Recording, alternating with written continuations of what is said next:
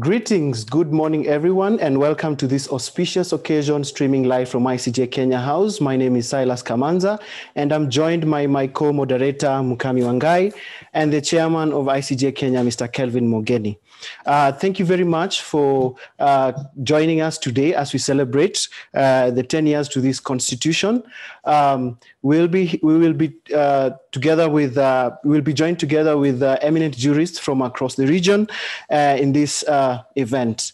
ambitious in every sense, Kenyans saw the constitution as a basis for the transformation of their, of the economic and politics of, of the politics and the law of this country. Indeed, the Katiba sought to uh, sort of transform the lives of Kenyans in every every single sense. Uh, now, to mark this occasion, ICJ Kenya and Strathmore Law School organized uh, a series of uh, uh, webinars dubbed the Katiba at 10 C- webinar series, where we discuss different different chapters of the Constitution, uh, including devolution, uh, equality, and and and and, and finances. Now, uh, with a view to, uh, of course, assessing the view, uh, the extent of the implementation of the Constitution in the country 10 years down the line. And today's is a culmination of, uh, of these discussions. Allow me to uh, welcome Mr. Kelvin Mogeni to give us his opening remarks. Uh, thank you, Silas. My Lord, retired Chief Justice uh, Dr. Willy Mutunga, our chief guest, Professor Issa Shivji, who is joining us from Dar es Salaam, distinguished jurists, participants, colleagues, ICJ members, ladies and gentlemen. On behalf of the Council of ICJ, I want to thank you all for joining us today as we mark 10 years since the promulgation of the Constitution of Kenya. Over the last six weeks, ICJ Kenya and Strathmore Law School have partnered to host a series of weekly webinars dubbed the Katiba 10 series. The discussions, and webinars were aimed at uh, debunking various constitutional themes and keenly evaluating the implementation of these provisions of the Constitution. It is those series of deliberations that have culminated in today's auspicious event, where together with our partners and the collaborating institutions join the rest of Kenya in celebrating the 10th anniversary of the, our Constitution. This constitution was intended to transform society, provide parameters for the promotion and protection of human rights of every citizen by the state, and promotion, promote cohesion and social justice through equitable representation of all genders and people of Kenya. The Constitution of Kenya 2010 was a product of a protracted process that culminated in a referendum. It was intended to correct historical injustice, address abuse of power, economic and political, political marginalization, and other social ills which have characterized Kenya's political regimes since independence. The clamor for our new constitutional dispensation was inspired by the need to create a bedrock upon which Kenya could transform from repression, despotism, and citizen subjugation to a future of renewed ethical values, respect for human rights, citizen emancipation, revitalized and accountable institutions. While there has been a steady but incremental movement towards the realization of some of the constitutional imperatives, there is still growing need for and reflection considered of the gains made to date, despite the existence of a progressive and robust chapter on the Bill of Rights and the values binding on all persons to uphold the Constitution, numerous vices such as violation of human rights, poverty, social and economic injustice like corruption still persist and have become endemic. These vices are mostly experienced by the marginalized and indigent persons in our society. Those living in formal settlements are relentlessly condemned to police brutality and poor socioeconomic conditions.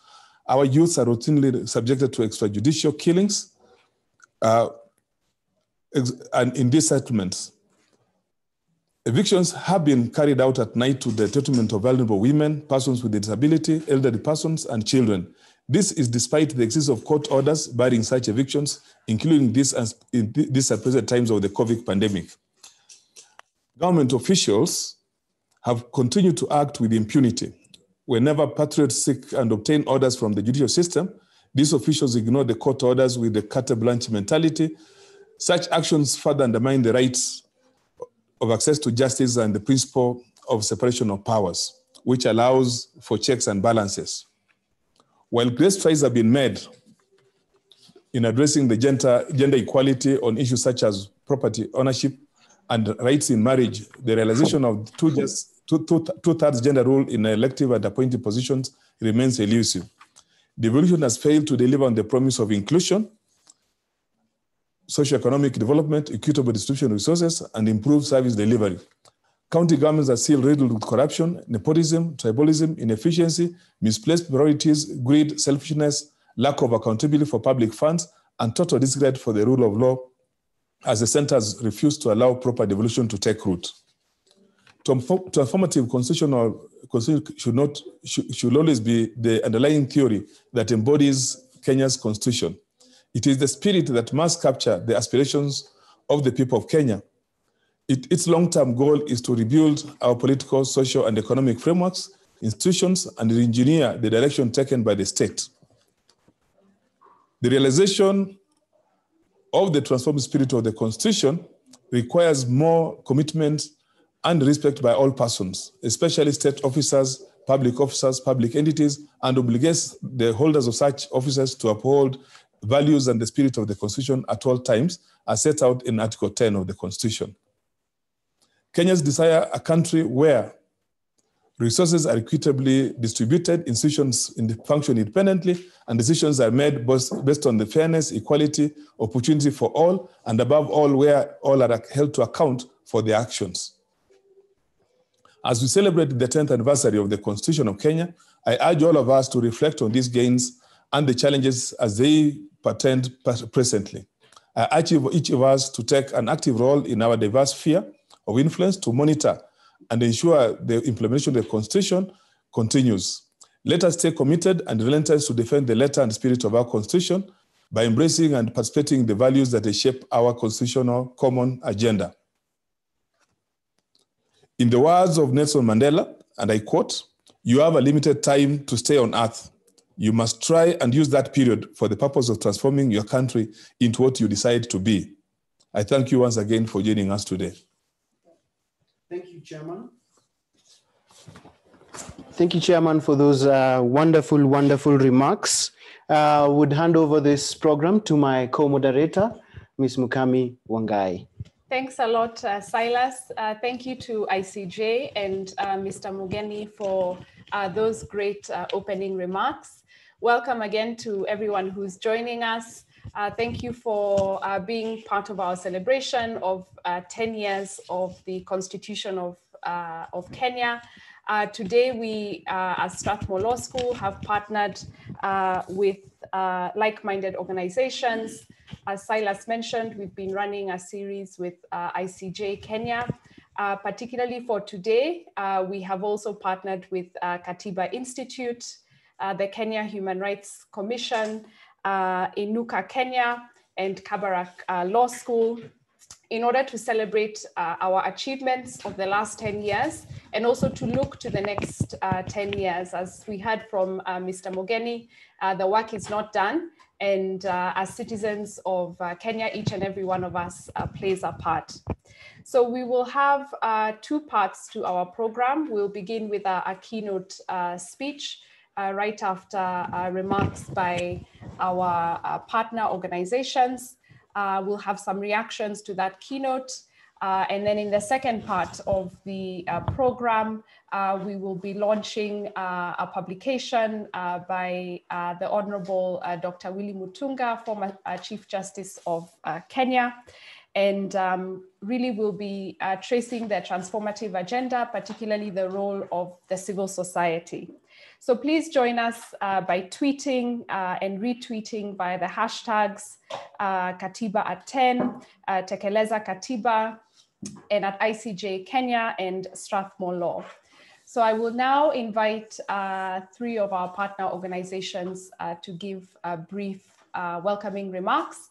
Uh, and uh, a very big welcome to Mr. George Kegoro, uh, the Executive Director of Kenya Human Rights Commission.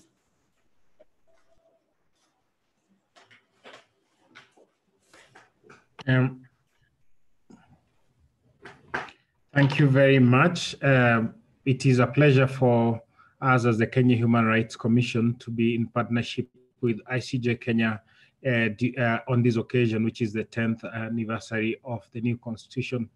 When the story of the constitution making process in this country is written, uh, both the partnership uh, of ICJ Kenya, uh, the Law Society of Kenya, and the Kenya Human Rights Commission will find at least a page in that history.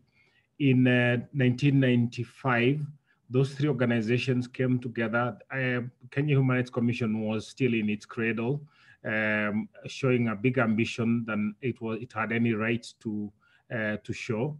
Uh, coming together with the more established ICJ Kenya and the Law Society of Kenya in a partnership that gave rise to the Kenya Tuitakayo movement. Dr. Willy Mutunga, who is on this call, was a key player in uh, bringing that about because he was then chairing the Law Society of Kenya and was the was uh, sort of the the engineer and the architect of uh, that extremely effective arrangement.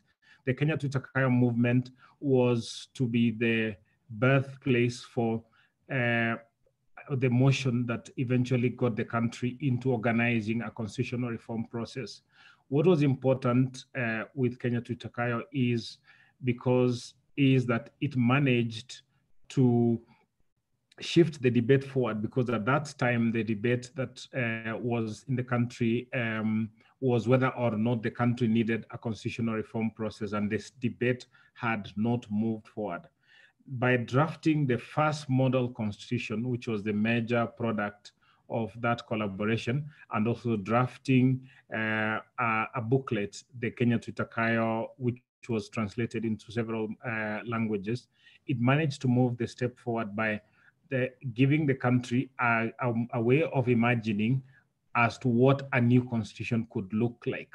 By giving the country an, an, an exemplar of a new constitution and an exemplar of a vision of a new country and a new constitution, it managed to move the step, uh, the, the, debate forward, and henceforth the debate became uh, uh, more changed from whether or not the country needs constitutional reform, and, in, and, and, and soon became what method of constitutional reform, what process should be adopted in, uh, in, in giving the country a new constitution. And that is the new stage and the new phase into which a lot of the current actors uh, in the constitutional reform debate have um, uh, have, um, have, have have joined uh, the, the, the history at. So I'm, I'm, extremely I'm extremely grateful, and on the occasion of the 10th anniversary, I would like to recall that partnership.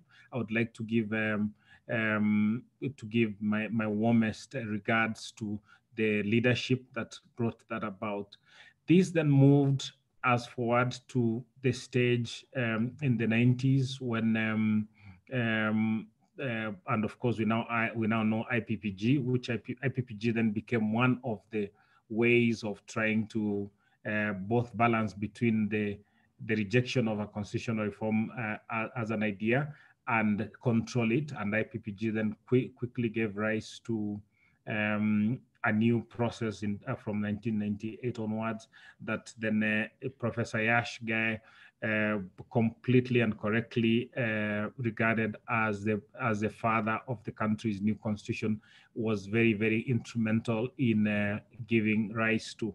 So on the occasion of uh, the 10th anniversary, I would also like to really really pay my warmest um, regards and um, and and, and, compliments to Professor Ghai for what he has done for this country and for what he remains to uh, and represents in the country. It was a very very difficult time when President Moi unilaterally after 1998 established a state-led constitutional reform process and gave the task of leading that to Professor Ghai. He could have said no at the beginning, and if he had uh, the history of this country would have been markedly different. We don't know in which way the history of this country would have moved forward. But he said yes, and it looked to us like, like it was a mistake for him to accept uh, such a discredited offer from such a discredited political leadership.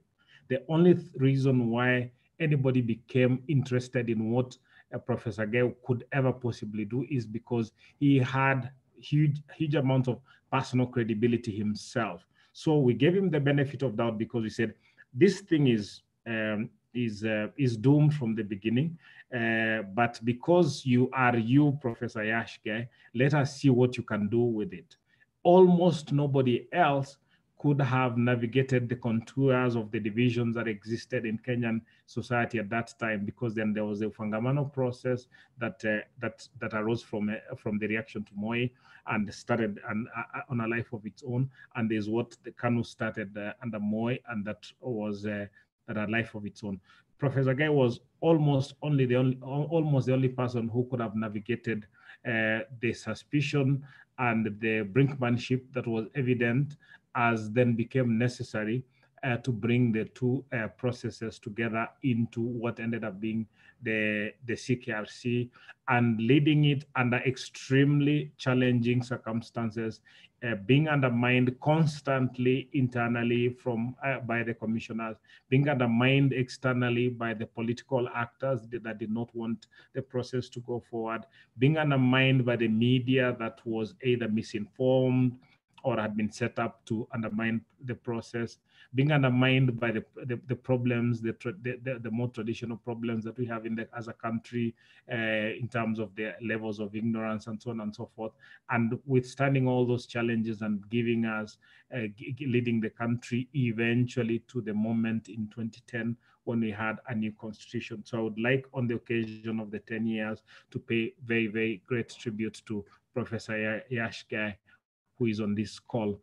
I would also like to pay tribute to the people who, since the promulgation of the new constitution, have done their shift in giving effect to the vision that is in that constitution. It's not been easy, and we all thought that once we got a new constitution, the hard work would end and life would be easy for all of us after that. But after 10 years, we all realized that getting a new constitution was necessary, but it was not the end. It was actually the beginning of a struggle for us to live the uh, the vision that the constitution uh, uh, uh, uh documented and that we gave ourselves through a documented uh, outcome called a new constitution. We've had we entered constitutional order on the backdrop. You will all remember of the post-election violence that then uh, went a long way in coloring the the, the, the experiences that we um, we've had and the ICC cases and so on and so forth, and everything that we've had, the, the huge amounts of political undermining of the new constitution has been colored by the fact that we we get we got ourselves a new constitution uh, uh, which was partly a ceasefire, but which uh, but that ceasefire itself needed mechanisms in addition to the constitution to address. And we are told, as, as from last night, that we need to change the constitution again because of the fact that it was the ceasefire document, and now we need a new constitution uh, when we don't have we don't have when when the ceasefire has ended. I would like to say in response to that that we have actually never had an end to the problems that came in 2007 to the extent that we've pushed pushed put pushed them aside and not wanted to talk about them. And we can't uh, we can't go into changing the constitution uh, and, and changing the constitution to whichever text. The constitution is just text. Whichever text we have it will never solve our problems unless we come together to talk about those problems and find ways in which the new constitution can help us in moving them forward.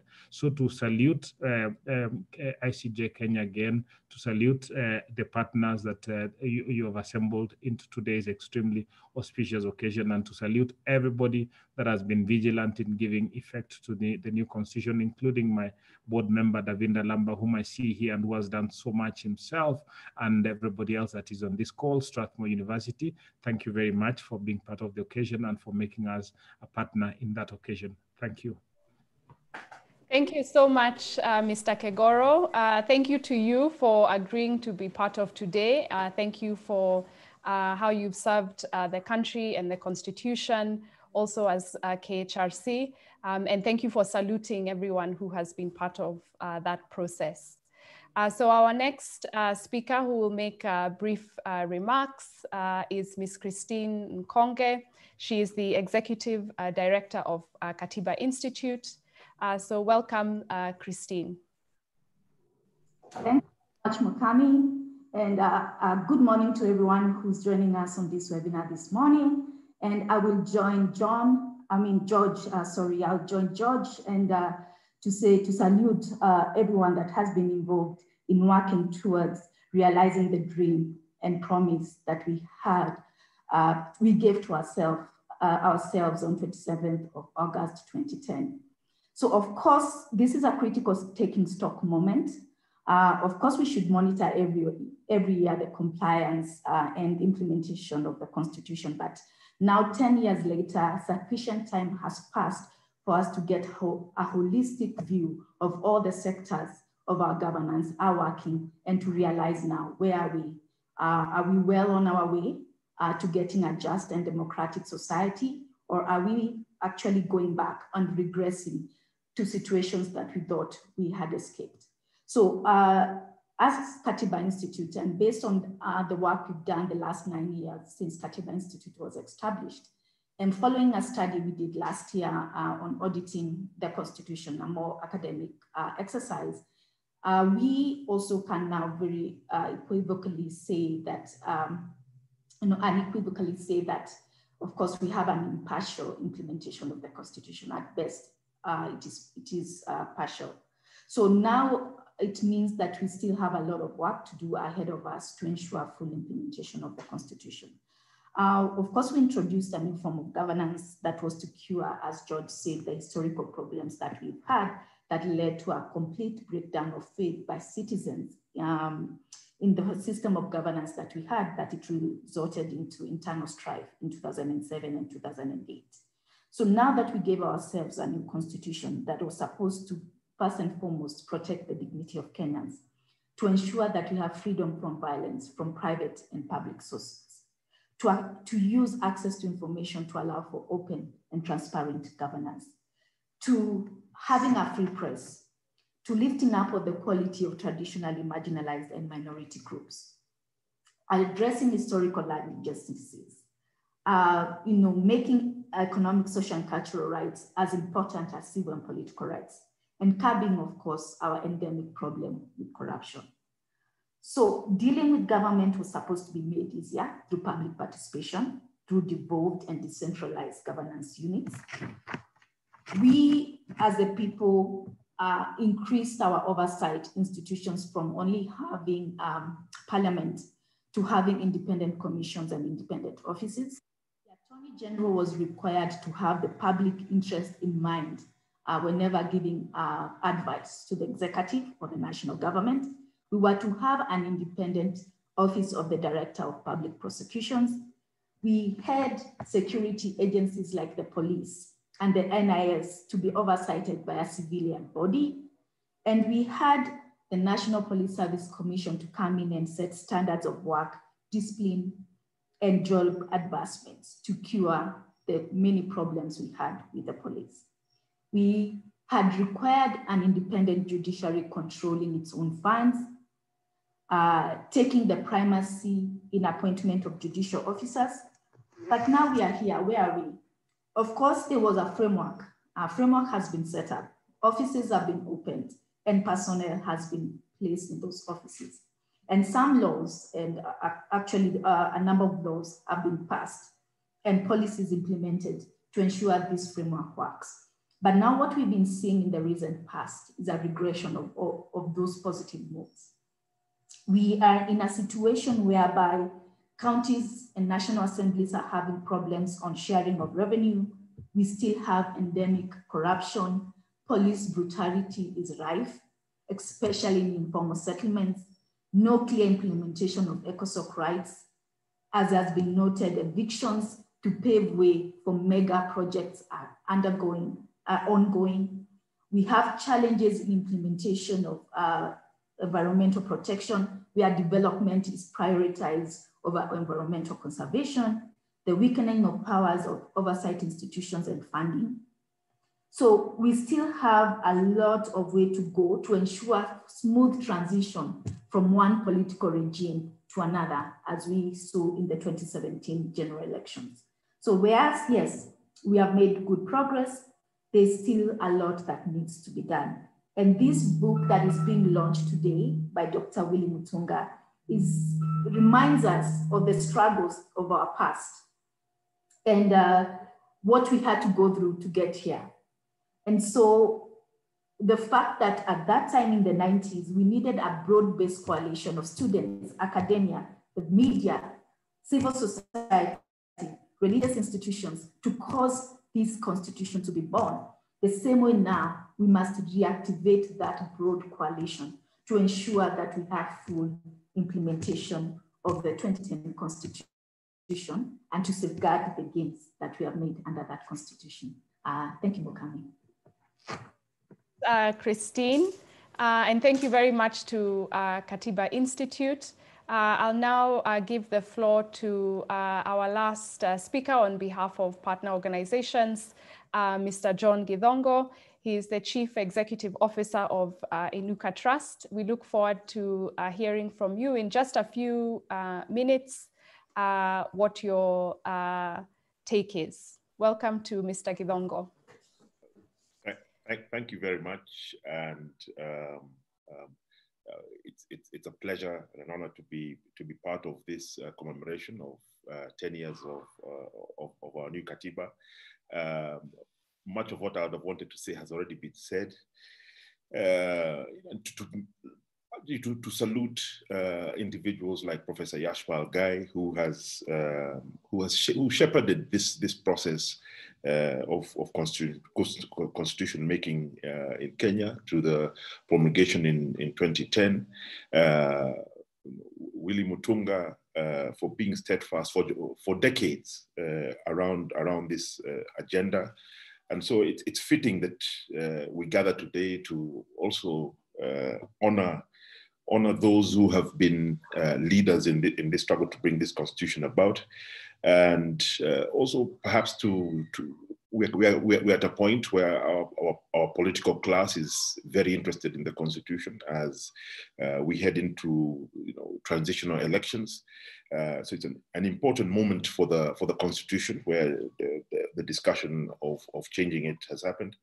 Um, and when, when, I reflect, I'll, I'll, just make two two comments of, of what has worked. Yes, um, uh, we have corruption in, in, in, in, the, in the devolved units in the counties. Um, but it's, it's clear that that one element uh, from the polls and, and, from talking to Wananchi, uh, devolution has had a transformative, transformative effect on the lives of people across Kenya, despite its many, its many problems. I think Kenyans are quite pragmatic about that. The, the, the Supreme Court is another institution that has came into being as a result of this constitution and um, has work to bring some sanity to the way we conduct elections, which are our primary instrument of accountability uh, vis-a-vis our, our, um, our, public officials.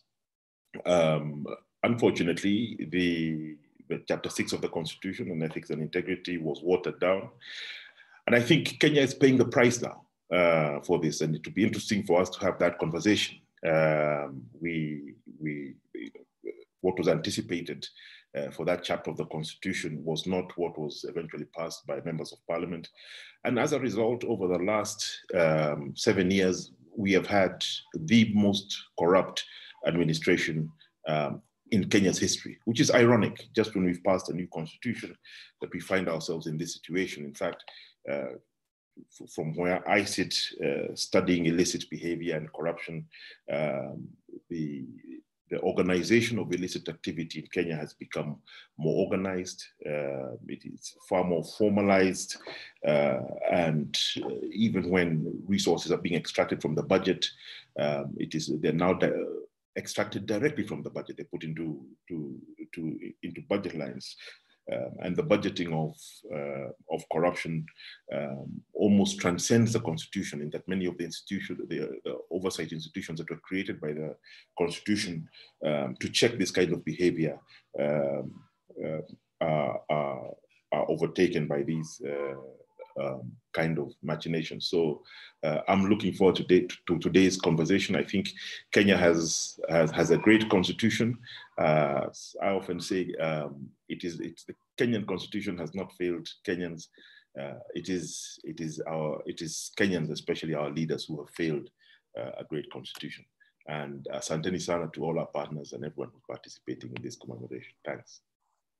Thanks a lot, uh, Mr. Githongo. I like that you uh, say that it's a, a conversation. Uh, so we are here really to um, to listen uh, and also to hopefully take some action uh, after today. So uh, thanks again to KHRC, Katiba Institute, and Inuka Kenya. So I'll now hand over back to Silas for the next part. Thank you.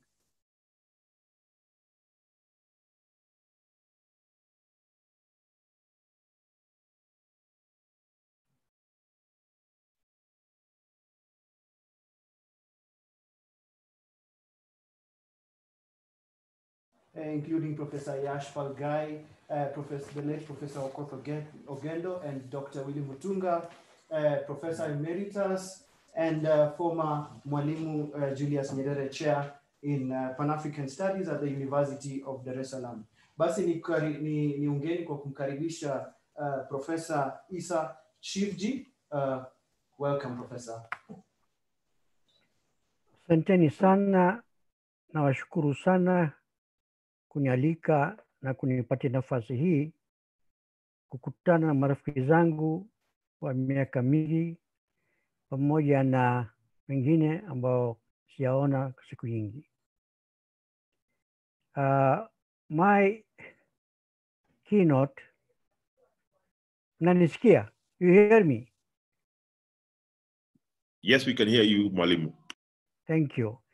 My keynote address is titled Do Constitutions Matter? Question mark. The dilemma of a radical lawyer.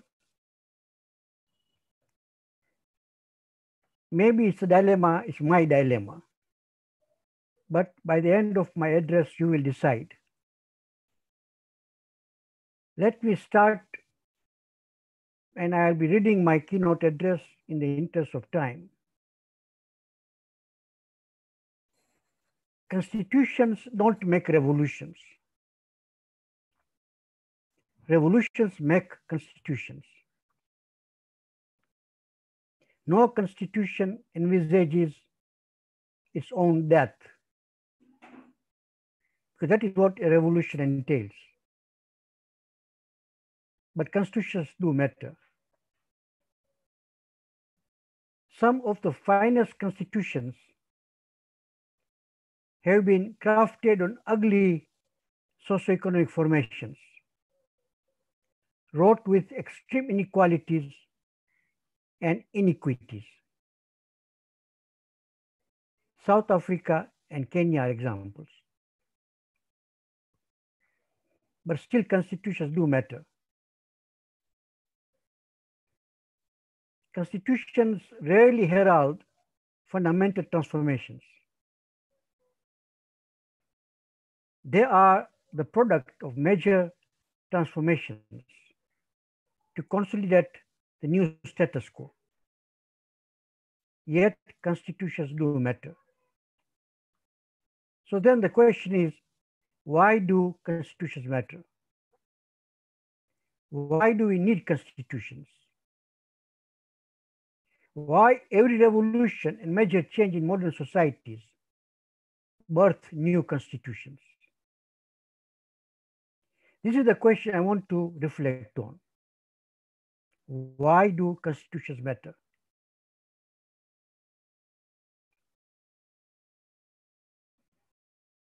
Let me start off by stating the obvious. A constitution is as much a political as a legal document. It is a kind of power map. Deeper structures of a constitution reveal, albeit partially,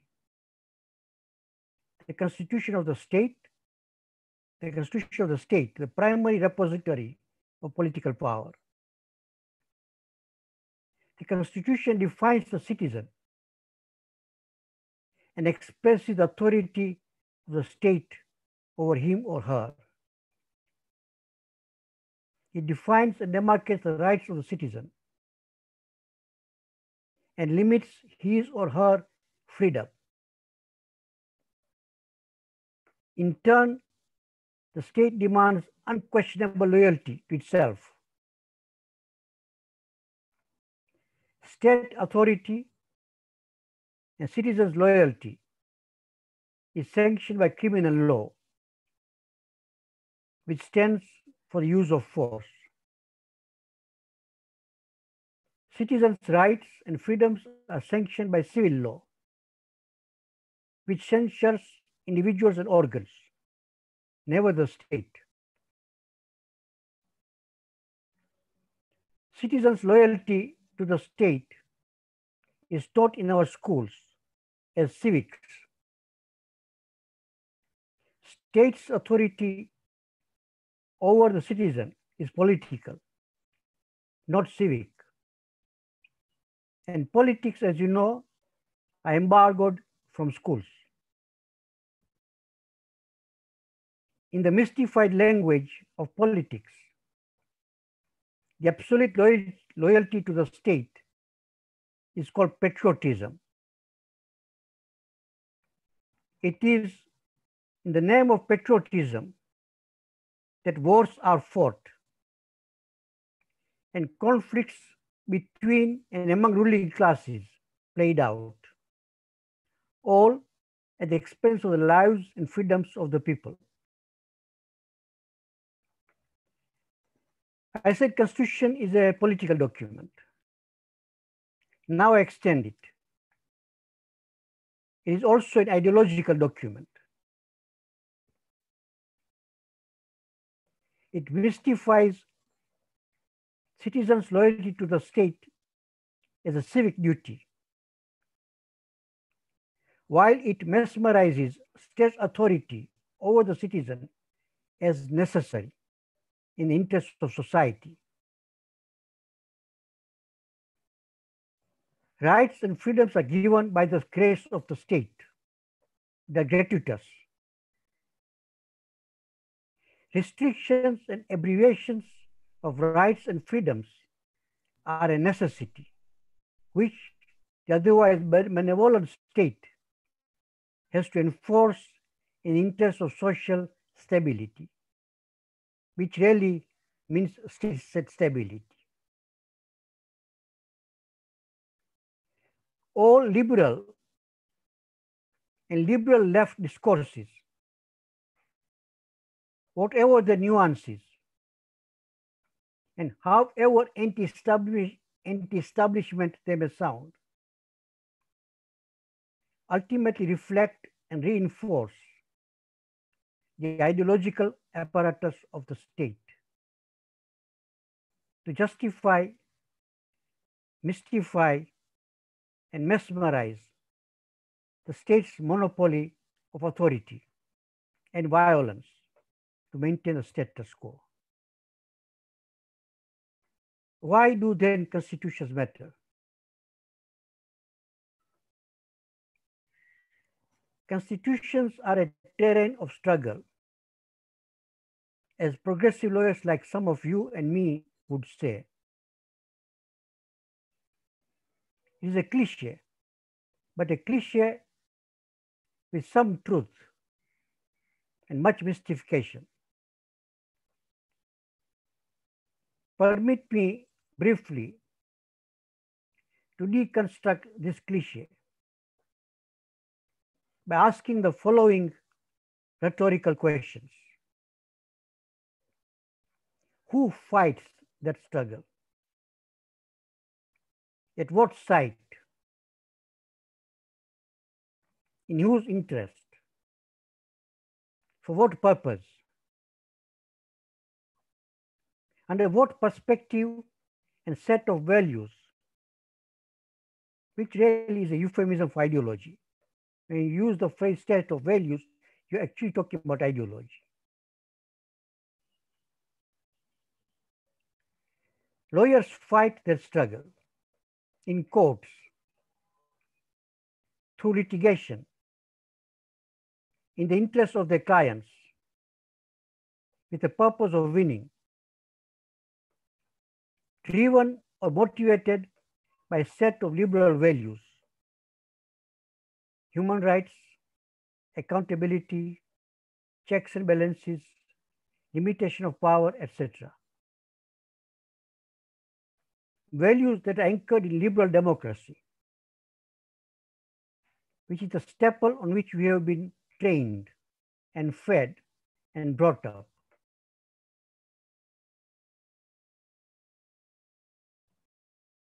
What is there in it for lawyers? Fees in the pocket, status in society, reputation at the bar, appeasement of the conscious, and inflation of the ego. That's a bit harsh and cynical.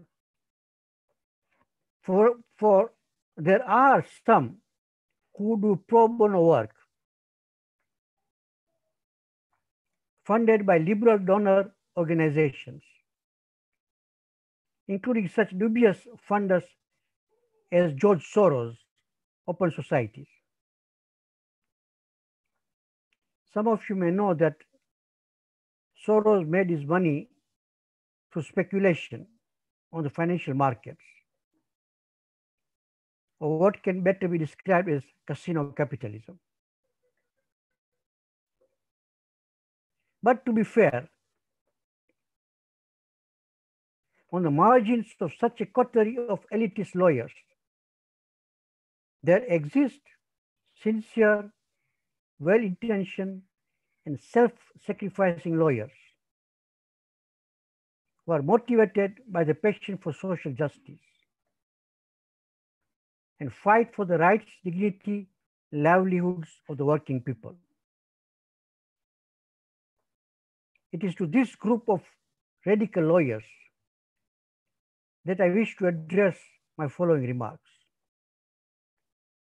And some of those are present in this celebration, who have sacrificed their personal interests, have spent time in Moi's torture chambers to fight for the rights and freedoms and for justice.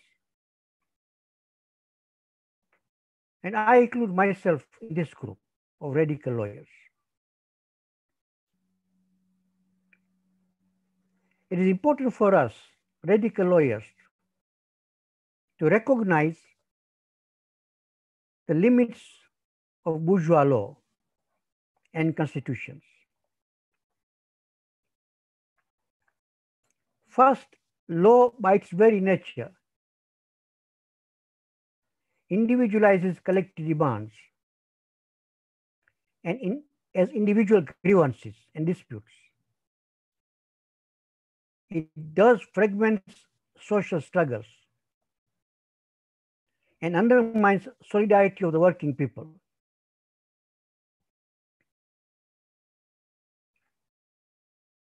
Secondly, in a litigation, it is the lawyer who is the hero, while the people are victims or spectators. The hero fights while the spectators cheer. It deprives the people of their self-esteem and militancy. It subverts people's agency. And when I use the term people, I mean what you call wananchi, sio. Thirdly, the struggle moves from the barricades to the barristers, thus robbing the people of the schools of struggle, which are streets, neighborhoods, and places of production. Fourthly, while victory goes to legitimize the status quo and the system, defeat results in despondency and hopelessness, and not infrequently surrender. Finally, the progressive lawyer is infected even more deeply by what some have been called the liberal virus. Holding high the placard of change and reform, while simultaneously holding down the banner of fundamental transformation. So then the question for the radical lawyer is, why fight for rights and freedoms and constitutionalism? Why at all constitutions matter? I'm sure many radical lawyer has agonized over this, as I have over the years in my legal aid and trade union practice.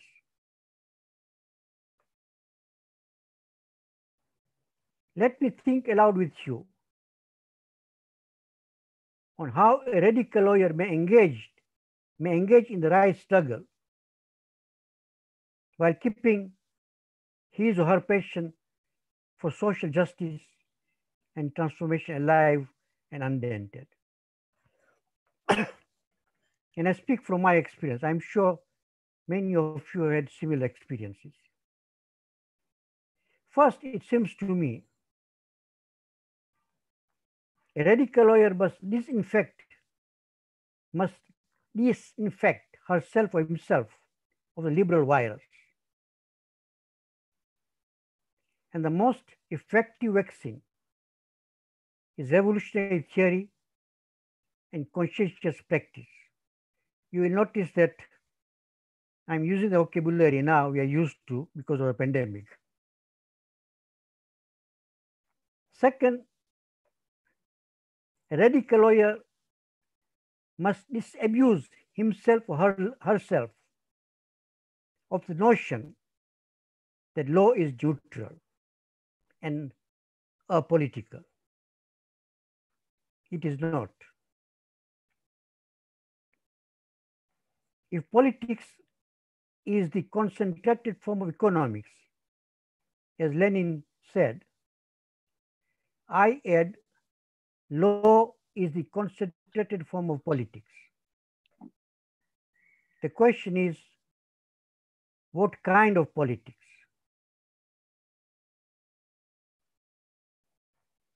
Radical politics are not on offer and cannot be picked up from workshops and seminars. Rather, they should be learned from the masses for real politics are where the masses are. Third,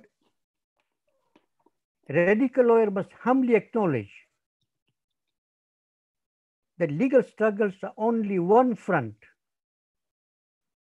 of the social struggles of the working people. Therefore, it cannot be waged in isolation from other fronts of struggles. Fourth, radical lawyers should not stop at chanting the constitution is a terrain of struggle. He or she must go beyond to identify sites of struggle. the sites of struggles which matter to the people are where they live. Urban neighborhoods, village communities, slums, etc. And where they get their livelihoods, land, factories, and so on. Fifth and finally, radical lawyer must recognize that the sites of struggle are also sites of organizing working people. Unorganized masses are like steam that evaporates into air and disappears. But the same steam when captured in an engine pushes the piston and moves the engine. stating these guidelines in the abstract rightly sounds esoteric and perhaps unrealistic. It behoves on me, therefore, to concretize them. I'll do so by broadly painting one possible scenario. Excuse me.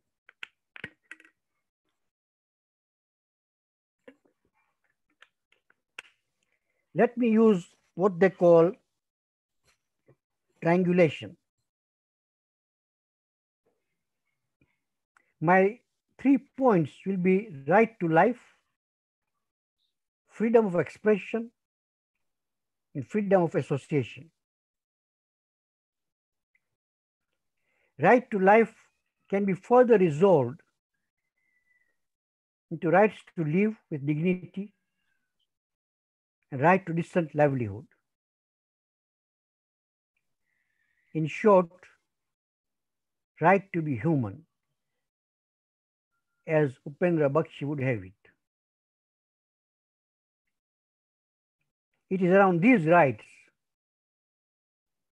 that local struggles ought to be strategized and people mobilized and organized. It is around these rights and freedoms the litigation strategies should be worked out. This way of highlighting and focusing on a selected number of strategic rights and freedoms allows one to move away from the plethora of fragmented rights discourse.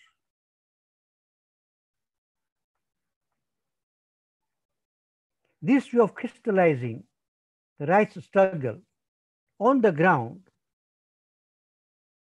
and in real life situations of the masses of the people also gives radical activists a handle on the demands that could and should be made of the state at the national level. So we work from bottom upwards.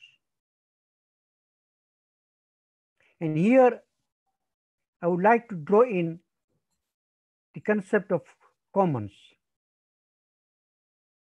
both traditional commons like land, water, underground and overground natural resources, and what I call new commons, which are often called public goods. In this, I include education, health and sanitation, energy, communications, and finance. Here, the strategic demand would be to decommodify and deprivatize the commons. In other words, for the working people to reclaim the commons and liberate them from the clutches of monopoly finance capital, which is invariably assisted by our compradorial states. This way of conceptualizing, operationalizing, and strategizing on different fronts the right struggle and the struggle for the commons would strike an immediate chord in the consciousness of the masses. For it is a struggle for the decent livelihoods and for the human dignity. It is a struggle to facilitate their production where energy and finance are important factors. It is a struggle for the education and health of their children. It also becomes a struggle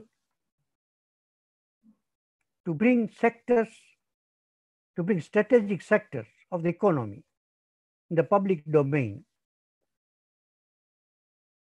It is thus a struggle against local compradorial classes and imperialist capital.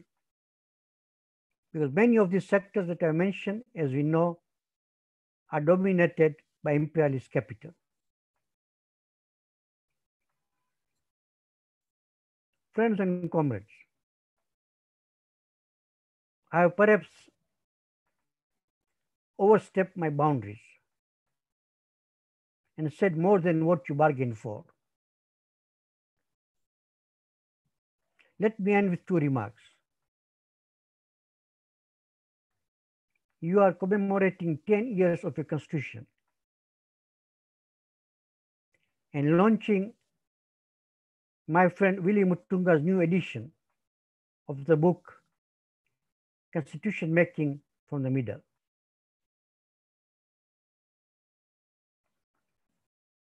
No doubt, the new constitution you have fine product. It's a fine constitution with a fine legal craftsmanship. Many commentators have analyzed and will continue to comment on the product. My interest, though, is not so much in the product, but the process which went into making the product, which is so well captured in Willy's book. I had the taste of that process when I was invited to address the National Convention Assembly, NCA, I think sometime in 2001. And I believe it was held at Ufungamano House. I was amazed at the composition of the delegates attending that convention. They're all elected at the grass at the grassroots level. Mostly working people in the ragtag clothes and women buibui. And the state was not involved in that process at all. The deliberations, the deliberations were in Kiswahili. Really reminded me that at that meeting, I warned Walala Hoy, that is working people, not to leave the process in the hands of Walala Hai, the petty bourgeoisie of the middle class, for they'll be betrayed. Apparently, that is what Mutunga's book documents.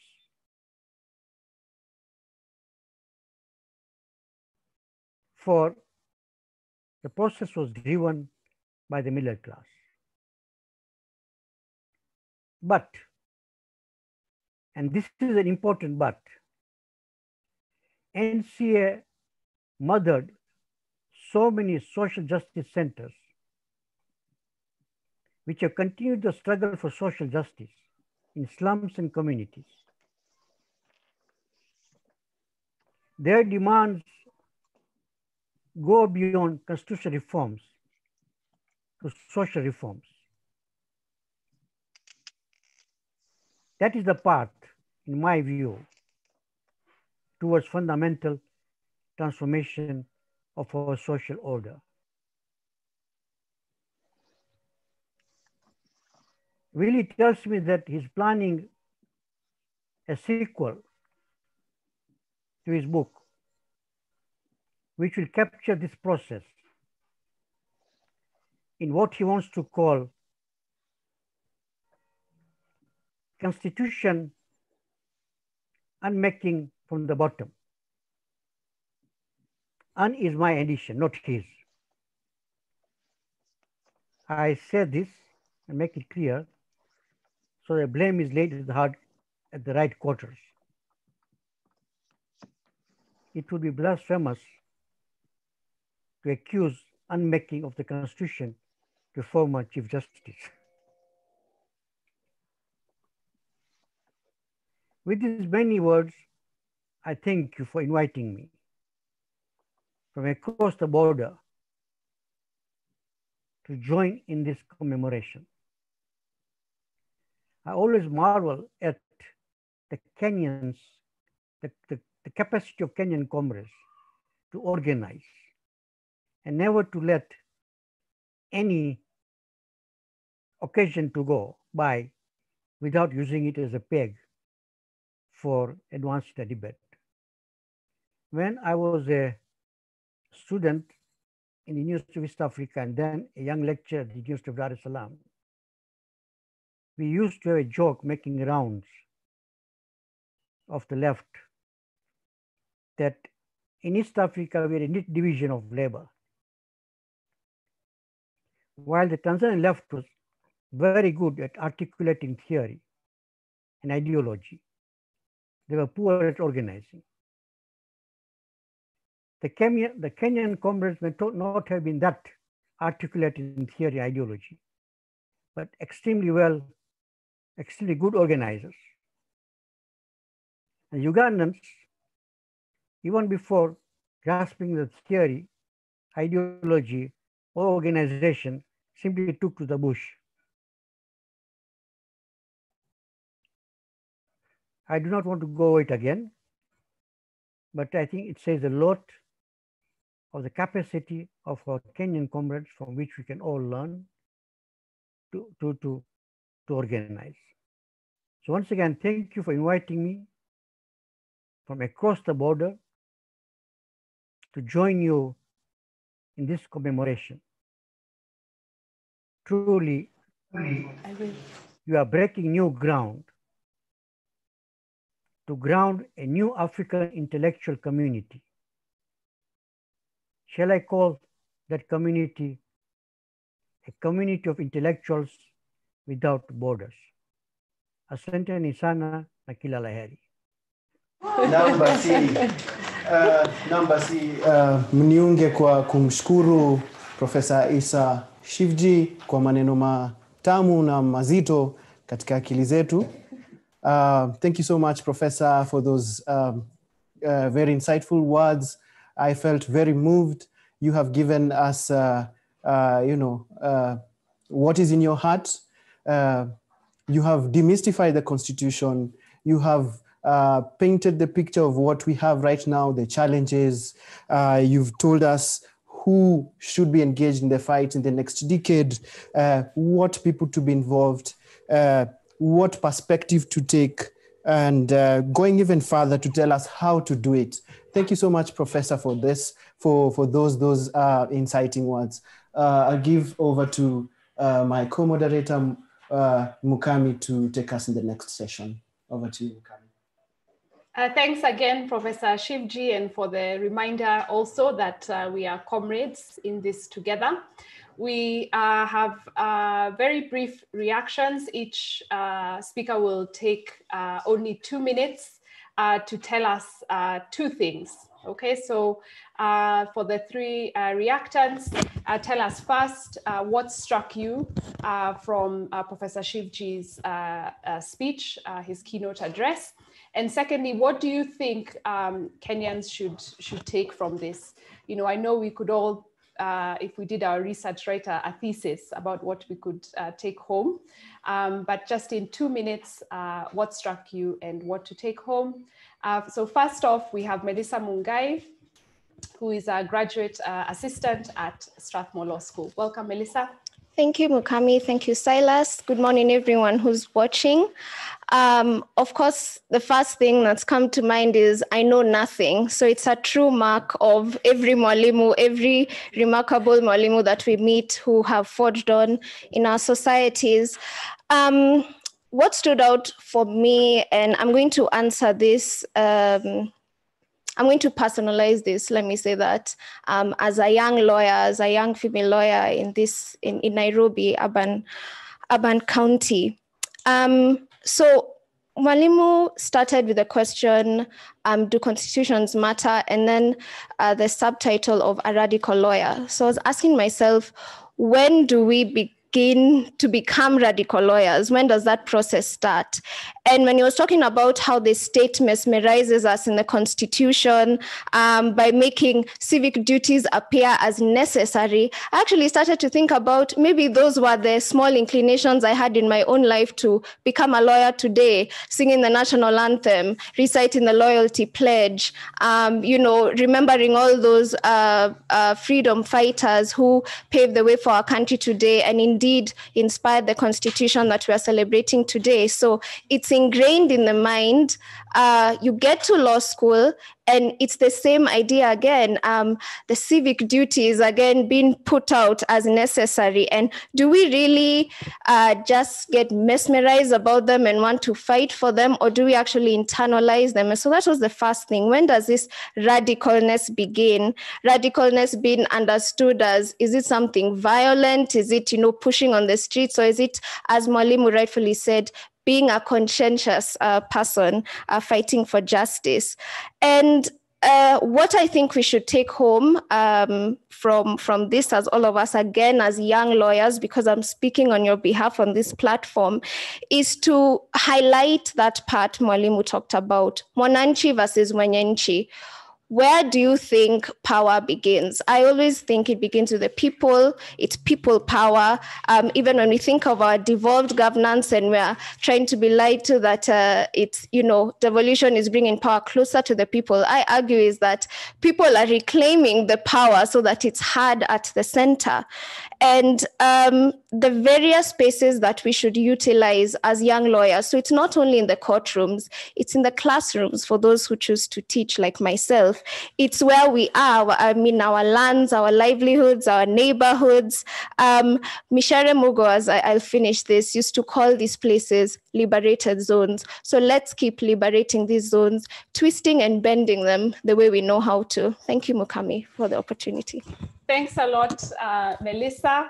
Uh, so next up, we have uh, Elisha Ongoya, who is a advocate and senior lecturer at Kabarak Law School. Uh, so uh, he will follow, uh, and immediately after Mr. Ongoya, Ms. Mercy Deche, please go ahead and, and make your, your comments without um, me breaking you. All right, so we have Mr. Ongoya first, and then immediately after Ms. Deche, uh, welcome for your two minutes, Mr. Ongoya. Thank you so much. Uh, when it all started with the intituling of the presentation, Do Constitutions Matter? The Dilemma of a Radical Lawyer, I expected a very skeptical presentation. But uh, what has impressed me is that I picked a very optimistic tone and optimistic content of this presentation. As a matter of fact, uh, this drew my mind back to the famous article by the late Professor Hastings Okoth Ogendo, Constitutions Without Constitutionalism, Reflections on an African Political Paradox. And what struck me again is that that article was published in a book edited by Issa Shivji, the presenter with us here today. So I find that quite, quite uh, exciting. The lessons I picked from uh, these were the following. One, that this struggle, as we call it, needs the correct ideological anchorage. That in the absence of an ideological anchorage for this struggle, we may wander all over the place without direction. There's an express acknowledgement that indeed constitutions matter, but there's a rider that constitutions are also political documents. And we need to know how to fashion this struggle within the political context. Uh, Professor Issa Shivji took me back to those days of Ufungamano, where I would occasionally sojourn as a young university student. At the end of it all, something that I'm reminded all the time is that our constitution constantly talks about social justice. If you look at the preamble to our constitution, it recognizes the aspirations of all Kenyans for a government based on the essential values of social justice. If you look at Article 10 of the Constitution, It recognizes social justice as one of the values of the Constitution. If you look at Article 19 of the Constitution, it identifies the reason for protecting fundamental rights and freedoms to, among other things, promotion of social justice. Issa Shivji has reminded us that we need to ask ourselves, what is our role in this struggle for social justice? I've carried home the term, the radical lawyer, the sincere, self-sacrificing lawyer motivated by social justice. Over to Dr. Mercy Mwara Deche, my good friend. Uh, thank you very much, uh, Ongoya, and uh, thanks uh, everyone. Uh, just to go straight to my two minutes, I want to say just like um, when I saw uh, Professor Issa was uh, going to speak to, to us, I remember that uh, he has his own discomfort with neoliberalism. And uh, then when I saw the topic for the day, do constitutions matter? I, I was just like uh, Ongoya, I was there, you go. He's going to tell us they do not matter, let's uh, go for revolution. But I was pleasantly surprised. what I, what struck me is um, the mundane, something I would call mundane that I always participated in when I was in school, uh, reciting the loyalty pledge to the president and the Republic of Kenya and all that. I did not know that I was being pushed to my civic duty, whereas on the other hand, there is the issue of uh, uh, the, the, what the state or the political class owes me, it was put in the side of uh, politics that was totally removed from school. So that was uh, really striking. But uh, when Professor, you talked about uh, the masses, uh, I appreciate first and foremost the fact that you, when you were talking about the radical lawyer, first and foremost, you kept saying he or she. Uh, I don't hear that often, and thank you very much for making me find my place in that radical lawyer. Most of the times we use the generic he but uh, I thank you for that. However, when you are talking about the masses, I was wondering whether a woman really fits in that, uh, in the masses, knowing that uh, patriarchy and paternalism uh, rolls down all the way to, to where the masses are found. But maybe that's a discussion you and I uh, can have uh, much later on. But what I would take home is the fact uh, that you stated that there are limitations to the bourgeois law. And the constitution is one of such uh, laws, although it's the supreme law, it has limitations. And that is why as Kenyans, then we need to ask ourselves whether all the, the solution to all the problems we are having in this country uh, should be solved through constitutional amendments. Whether it's the problem we have been told about a shared prosperity, about inclusivity or even corruption. Because as you have said, there are many fronts, there are many battle fronts. Not all the battle fronts are, are legal. And then lastly, then, what should we be looking forward to in the next uh, decade? I think uh, to use very pedestrian language, we need to stay woke from what you have told us, Professor. We need to stay awake and alert yesterday when the president was speaking, I had words, one of them, uh, George Kegoro mentioned one of them about the constitution being um, a, a ceasefire document. There was another description of the constitution uh, being a document that needs to be changed so that it doesn't freeze in paralysis. So when we hear that, we need to stay woke, not just now, but in the next 10, 20 years to come, so that whatever changes, and we are staying woke so that we can manage the constitutional process and any attempts at amending uh, the constitution so that whatever amendments that may come should start from the bottom up, as you have said, and not from up, where two people shake hands and thereafter we are going to change the constitution. Thank you very much, uh, everyone um, um, Commissioner Deche for those uh, very insightful uh, views. Thank you so much, uh, Elisha, and thank you so much, Melissa, for those very inciting uh, words and remarks that you have given us today. uh, today uh, in the spirit of this celebration. I'm joined by amazing, amazing young gentlemen in this country who have who are committed to uh, speak the word and tr- speak truth to power. I uh, introduce uh, Javan the poet. Thank you. Uh, thank you very much. Uh, my name is Javan the poet. With me is Yanni and uh, Baraka the saxophonist. We are gonna do three pieces. The first one is uh, Journey to the Promised Land. The second one is We Are Still Struggling and Watoto. Thank you. Journey to the promised land, bado ni long. Journey to the promised land, bado ni long. Journey to the promised land, bado ni long. Kenya, hold on, keep on. Journey to the promised land, bado ni long. Journey to the promised land, bado ni long. Journey to the promised land, bado ni long. Kenya, hold on, keep on. Kenya, hold on, keep on. Kazi ya gani holes kwa heads na chest siku protect ni contest ya nani anangusha wengi nani anajaza meli nani atashinda hesi. Ju system ziko mesi alisema shoot to over kwa screen. Kama mbaya mbaya ndio tambos tunamaliza generation. Ama pea lawyer uniform pea judge uniform.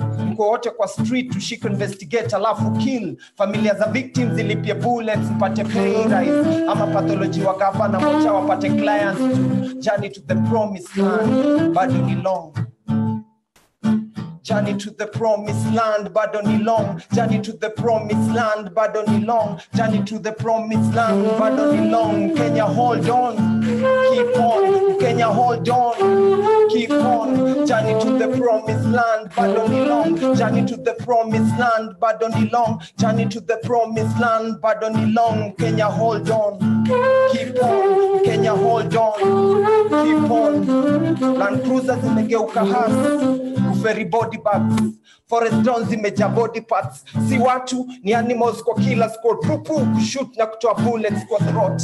Alafu kwa media wanakuwa applauded hakuna light kwa India tunnel iko closed. Hakuna justice kwa iya za kesi ziko post. Not with guns but with our voices tuta challenge your mind juu journey to the promised land bado ni long. Journey to the promised land bado ni long. Journey to the promised land bado ni long. Journey to the promised land bado ni long. Kenya hold on keep on. Can you hold on? Keep on.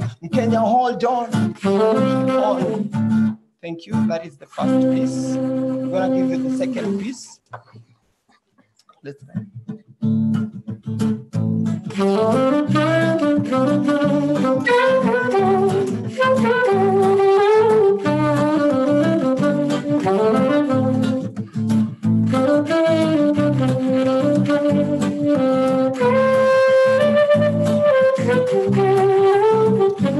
kwetu vijana knowledge is power. Let's be enlightened tupende sana. Na sio za kulevya dawa dawa. So many fallen soldiers. Juu ya life ya uteki hinta tunangoja. Because we want so many changes. Here and there crime everywhere Hey, let's just some care to our siblings out here and learn to live together. Tutasonga mbele, le, le, le, le, le. Tukibonga moba bila action zote ni kelele, le, le, le, le. Hatutasonga mbele, le, le, le, le, le. Tukibonga moba bila action zote ni kelele, kuwa soko wakati kupata job na kashi imekuwa so slow ka movement ya konokono. Mikono zangu hazifiti in my pocket tu zao ziko in kama chaja na socket. Wanabonga mob kama project ya safu gea taarifu nataka change. Safu tapata kura tu ndio arif. One nation tumelan one lesson kupata change. Mi na we ndio one lesson wazee walisema penye nia pana njia niko stage. Hata sijapata njia naitishwa mia. Weird. Hatu hike siku hizi juu mountains zimekam home. Na prices za hatuna kura zile tunazo tunauza. au Who's smarter nao nikiwa njaa wanakula kwao. Life's good for them wanatumia watu kama wow tap zikiflow na maji badala ya hewa. Nikiishi kwa nyumba after election badala ya hema ntajua kuna change. Juu sijui difference ya tao na soko duka kuna change. Pepa baga zina weight. Hata nyumbani hatuna kazi ya plate. Ntaona kesho i guess. Hatutasonga mbelelelelelele tukibonga bila action zote ni kelele hatutasonga mbele lelelelele bonga Mungu. Bila action zote ni kelele lelelelele naingia shule kusoma. Mwalimu anagoma. Na graduate chuo kikuu na honors notice board kusoma nikitafuta vacancy. Hii subject inaitwa experience. Kuiona ama hii degree na jobless corner ambulance imekuwa too fast kutupeleka kwa grim reaper. Jukumente life health services too expensive. Death is cheaper kishiba excess turukana means ni shida. kids dying daily ni msiba. biashara ni hasara na uza sukari ya nyumbani mia. ya magendo unapunguza kadhaa asilimia. fungua macho uone who's to blame. Ai, ningekuwa mrasta ningesema i and i gap ya pua na richi na widen itabidi maskini wote wakoke ndo one good life in heaven no na joke. It's never too late. Get your vote. Be wise. Toka kwa life ya church mice alivyosema Samora Machel the struggle continues. Tukibonga Mungu bila action zote ni kelele lelelele hatutasonga mbele lelelelele tukibonga Mungu bila action zote ni kelele lelelele hatutasonga mbele lelelelele tukibonga Mungu bila action zote ni kelele lelelelele hatutasonga mbele lelelelele tukibonga Mungu bila action zote ni kelele Thank you. Uh, I'm the third and last piece. Na hii inaitwa kwa Kenya ama watoto wa Kenya because we believe we are the sons and the daughters of this nation and we must make change, be part of change. watoto wangu we, we mimi baba yenyu we, siniko na nguvu we, na iko kwa katiba Yeah. inawalinda kila siku, haiwadhulumu, inawalinda kila siku, haiwadhulumu, ila msilie ndiye Nimesikia shida zenyu, ila msilie ndiye Katiba iko hapa kwa ajili yenu, zilindwe haki zetu wote, zilindwe. Zitunzwe haki zetu sote zitunzwe. Zilindwe haki zetu sote zilindwe haki zetu sote zitunzwe. Watoto wangu we, we. Mimi baba yenyu we. Siniko na nguvu we.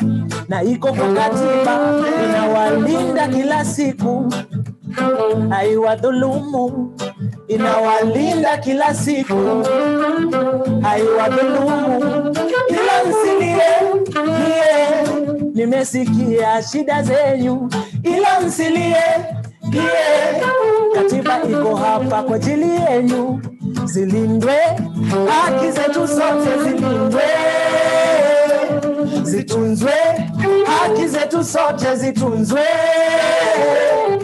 Zilindwe haki zetu zote zitunzwe na zitunzwe haki zetu sote zitunzwe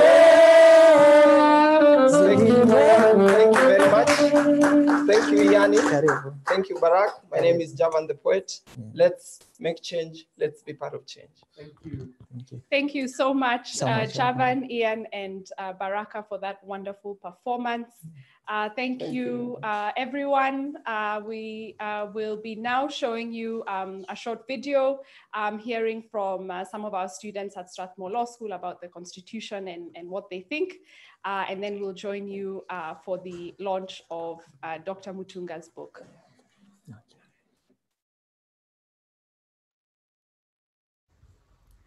Hello everyone, my name is Tasneem Perbai and I am a third year student in Strathmore Law School.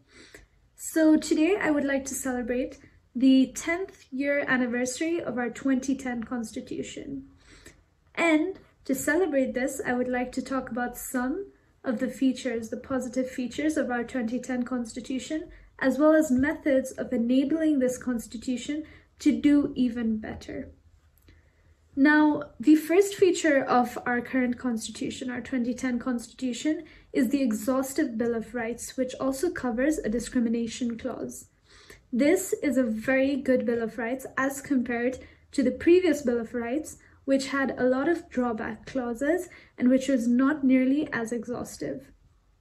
This has helped protect several Kenyan citizens from injustice and has helped prevent the abuse of power. Additionally, this current constitution um, enforces the separation of powers. Now, the separation of powers is more emphasized in this constitution through the independence of the judiciary, the independence of the executive, and the independence of the legislature as well. This is fantastic because it helps prevent other prior historical injustices that had occurred in the previous constitution and within Kenya's legal system prior. Finally, I would like to finish these positive features by talking about how this current 2010 constitution addresses the history of Kenya in an even better manner. This is because it considers past injustices and works to rectify these. And this is also done through the promotion of alternative dispute resolution mechanism through Article 159.2c of the 2010 Constitution, which helps promote justice through other means other than the formal litigation system, which also helps recognize customary law as a method of promotion, which is also being done through the AJS policy that is also being launched today. I would now like to finish off by talking about the aspects of this 2010 constitution that could be made better. So I think that as a document, this 2010 constitution is fantastic. It has done a wonderful job in its articles and in the writing. And it is very transformative in what it has done. However, I think that while our document in paper is fantastic, our practical application of it is not. Thus, going forward, I would like to advocate for a more practical use of this constitution through the better use of institutions and through better education and mechanisms to ensure that the constitution, the transformation of the constitution is enabled and achieved. Thank you very much. I hope you all enjoy this conference and I hope we all enjoy celebrating 10 years of our wonderful 2010 Constitution.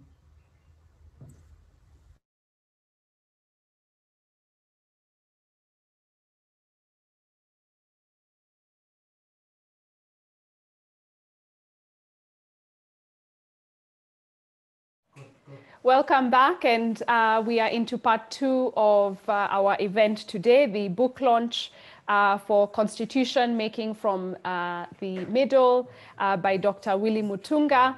Uh, we are running a little bit behind on time, but I'm sure we shall make that up over the next segment before we move to the final part. Uh, so it's uh, a great pleasure of mine uh, to now uh, ask uh, Dr. Mutunga uh, to give us an introduction to, to the book. And after he, he speaks, we will have brief reactions. Um, but it's very great to have you, Dr. Mutunga. I know that you joined us early on and, and have been following quietly. Um, and now we look forward to hearing from you. Karibu. Uh, thank you very much. Uh, I thank Strathmore, uh, ICJ, uh, Inuka Kenya, Kabarak, Kenya Human Commission, Katiba Institute, and the, the panelists. I'm also very delighted that two of my great teachers, Mwalimus uh, are part of this discussion. And I thank Professor Issa Shivji for the keynote uh, speech. Now,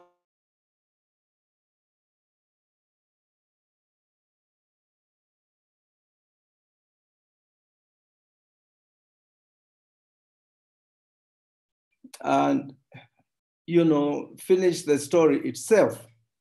Um, and the story is interesting. You know you, it tells you the various positions taken by the youth uh, grassroots organizations uh, ngos and here we're talking about uh, secular and religious uh, uh, sectors of civil society public intellectuals uh, and political parties. And also the so-called international community, which is a euphemism for foreign economic and political interests. So, you, you know, the story gives you a glimpse of the various interests and uh, classes, uh, you know, uh, involved. I initially wanted to update the book, but I realized that that wasn't a good strategy because uh, immediately after that book, Makau wrote his book, uh, Kenya's Quest for Democracy. And uh, a lot of writing has, you know, uh, gone on, uh, has been done. And so I, I thought the best thing was to, to write a, a, a new preface, uh, which uh, kind of updates my, you know, my thinking, my critique, of, of, of, the, of the book.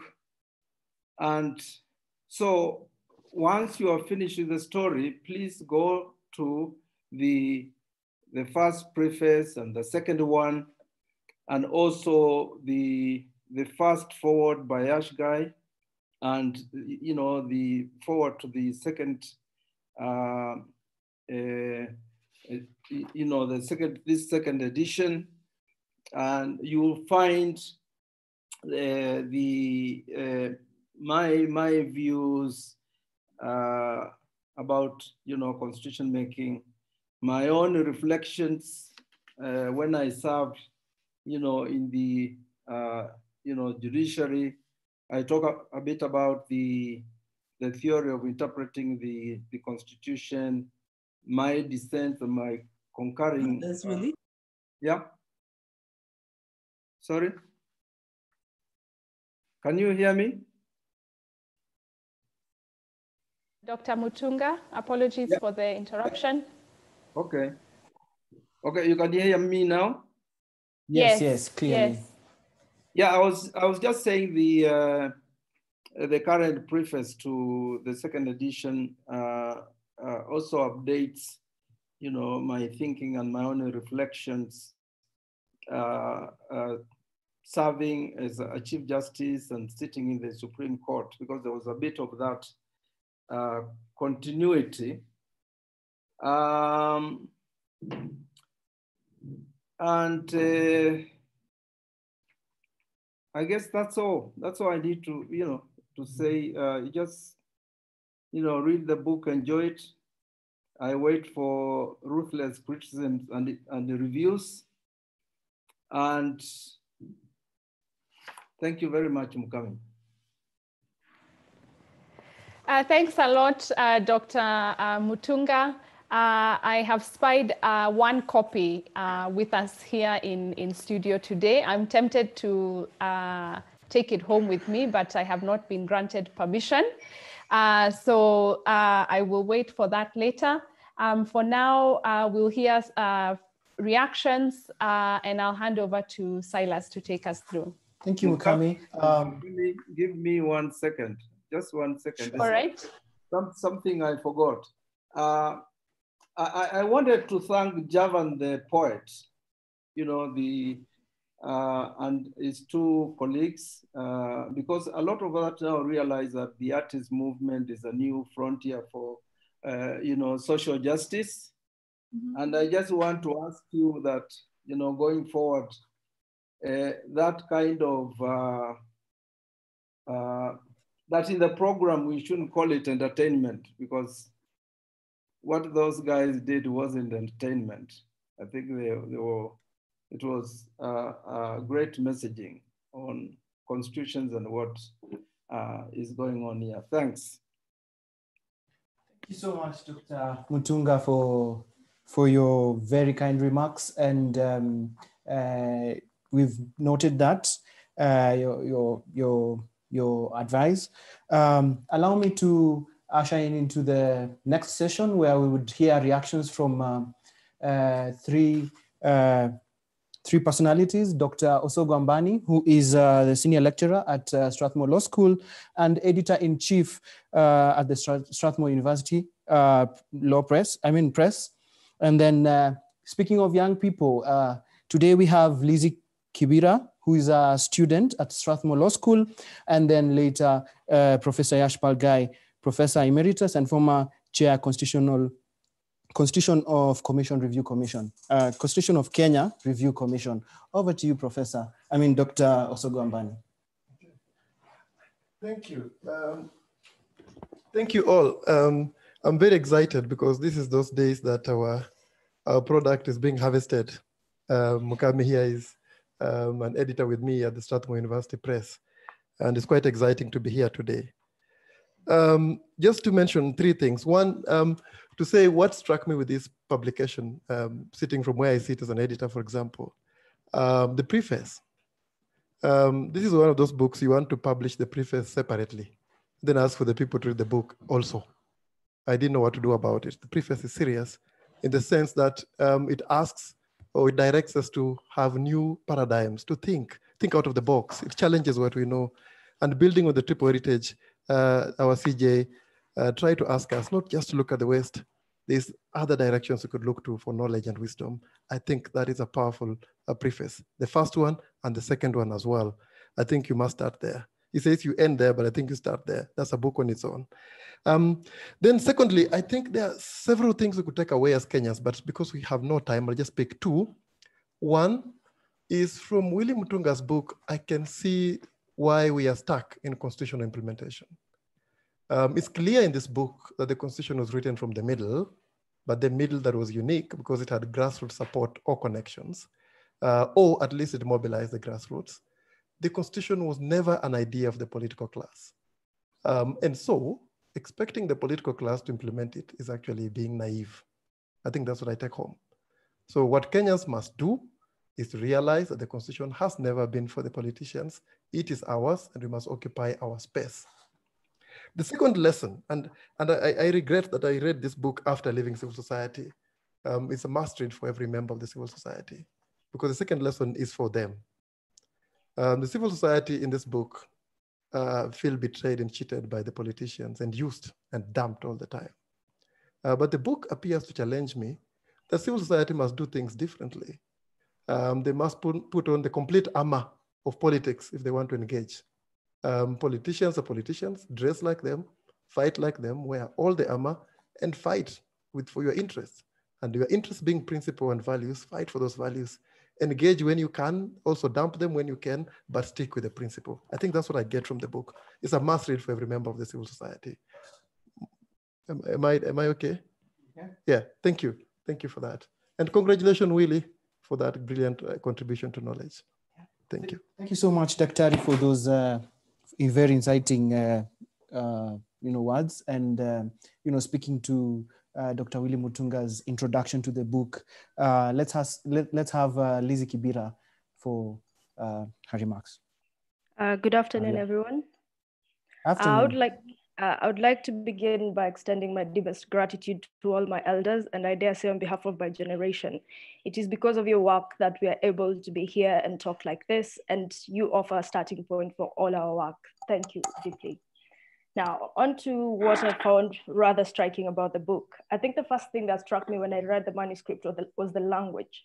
It was just so inviting the book flowed in a way that literally anybody could read it. Being used to a long academic text, this was just refreshing. And it's not just the language of the book itself, it's also of the movement. It's not just for a select few elite people. Even the use of Swahili uh, almost extensively throughout the movement itself, even talking about Kenya Tuitakayo. That indigenizes things in a way that I found very refreshing. And speaking of indigeneity, I think that when I read this text, I'd already done my constitutional law and not encountered it during, during that course. And I was struck, the first thing I thought was, here is a constitutional text that is just Kenyan. It covers the history of it, and it tells me, here's where you start thinking from. And as a student of law and one who has had to go through the, the whole jurisprudence mantra of every white man in, in Europe and America, that was extremely refreshing. And I think that's one of the one of the things that I really loved about the book. It placed me in context. It made my life feel relevant. And one of the other things that struck me was just how long, complex, and protracted the fight for, for the Constitution was in my memory as a 23 year old, I can only think of Moi must go, then banana versus orange, and then the 2010 constitution.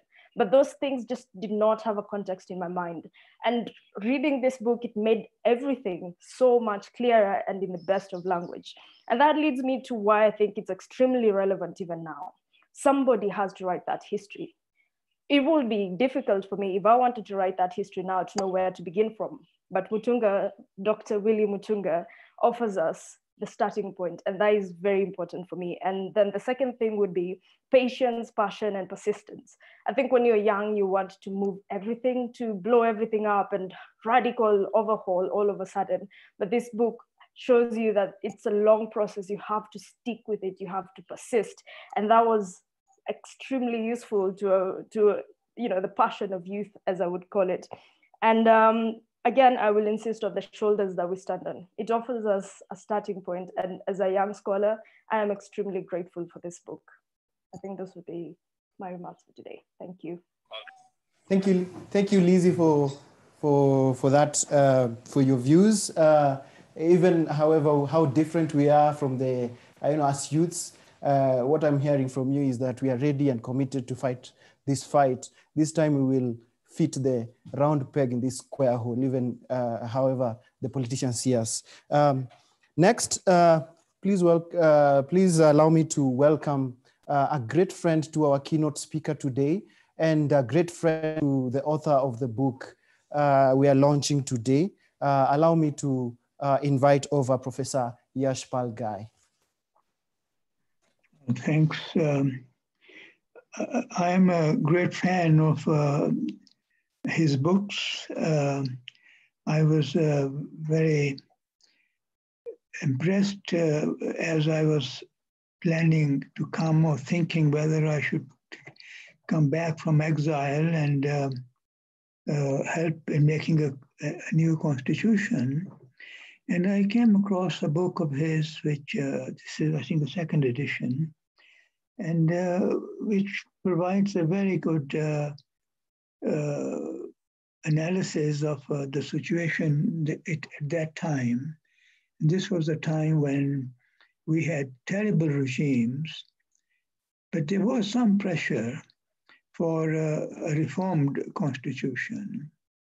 And his book uh, helped me a lot to decide whether it was worth my while or not to, uh, to become involved in process of making a constitution here.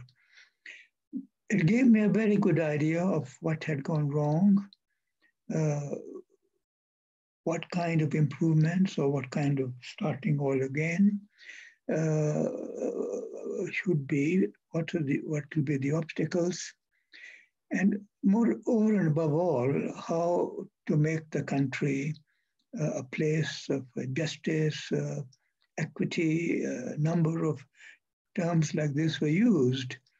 And uh, I got a very good understanding uh, as I read the book about the, the situation at the moment, as well as uh, possible uh, changes. And uh, I had then big advantage when I started my work uh, his book was not merely scholarly, but spoke no, you don't like to, that expression. Uh, but he spoke to ordinary Kenyans, providing, as I understand, an understanding of uh, the objectives of a constitution and the propriety of having a new constitution. Uh, when I was asked um, uh, by uh, Moi to come and, and uh, help in making a constitution, I talked to a number of my friends uh, who were in, in, in Kenya then, I was in Hong Kong. And most of them said, no, no, no, no, don't come. It's, it's a waste of time. But Willy uh, said to me, come, come. And I think you may make a change. And one of the first, you know, his book was a very important factor in my deciding I must go. Uh, the situation in the country, which he depicts very clearly, uh, is deplorable. And uh, if I can be of any help, uh, uh, I, I, should go back. Uh. and I also learned from that book the whole framework within which I would have to operate. and it prepared me for a situation I would see, but also how I perhaps could uh, deal with it. Now, apart, of course, from his uh, great book, which I'm so glad is now in this new edition, uh, that I, it was a fantastic book. And it also showed to me the, um, the hierarchies, the, the uh, the social structure and the political structure of the country at that time.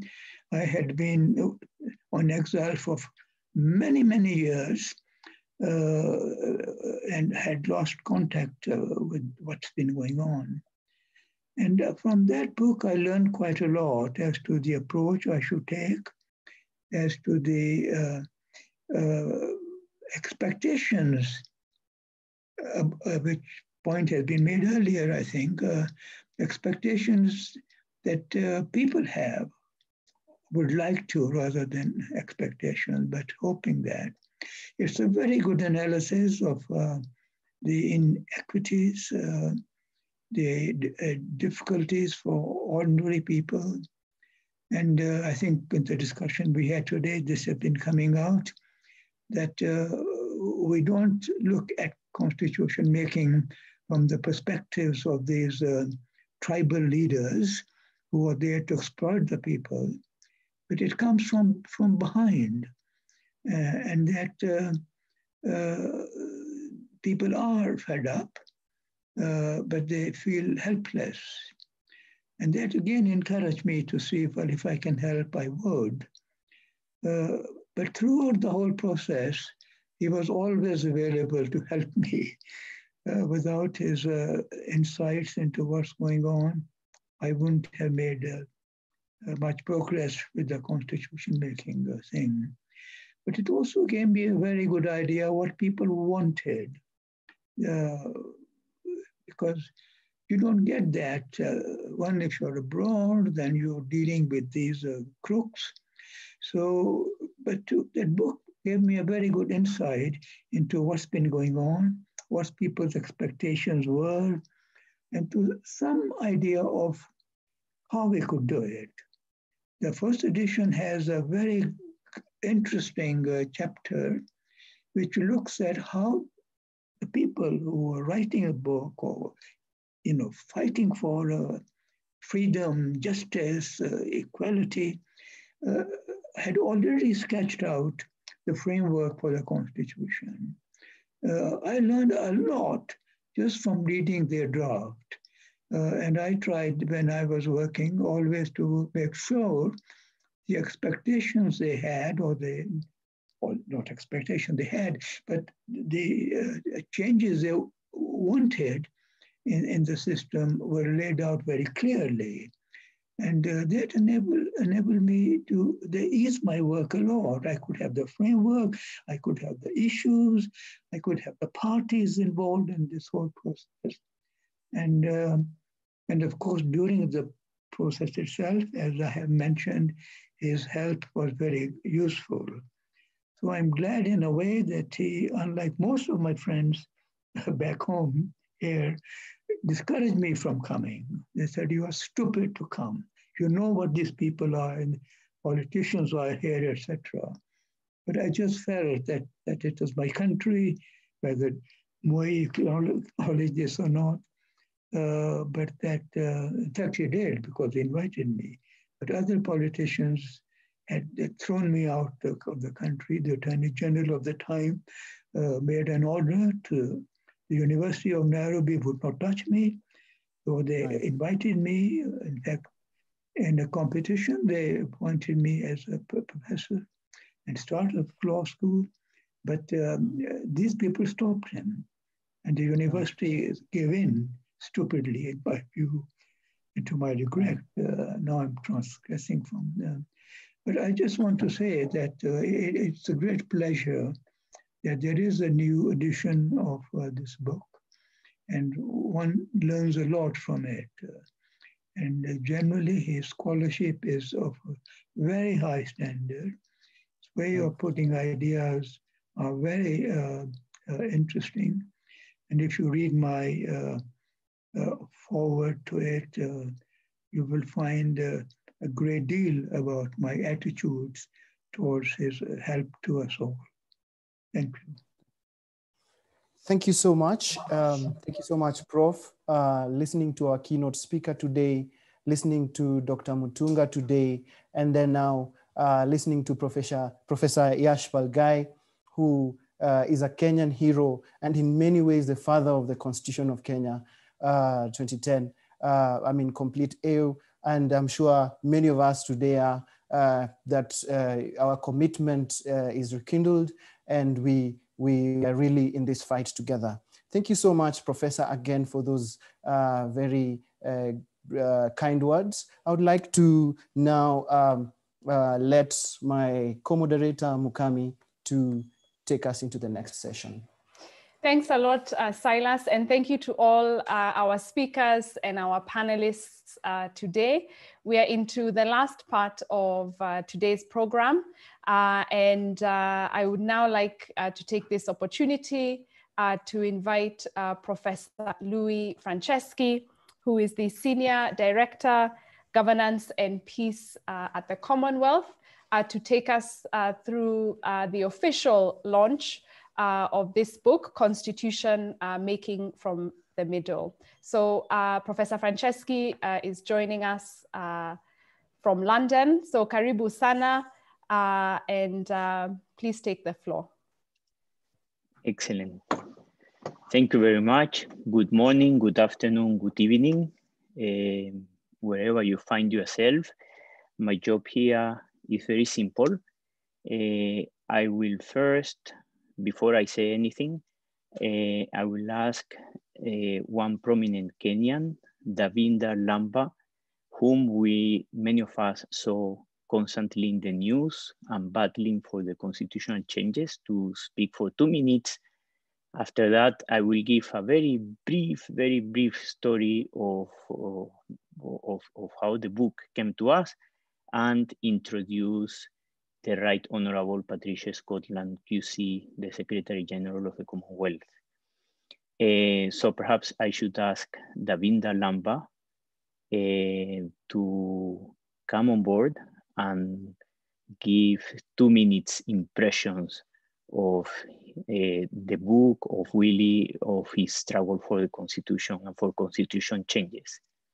Davinder.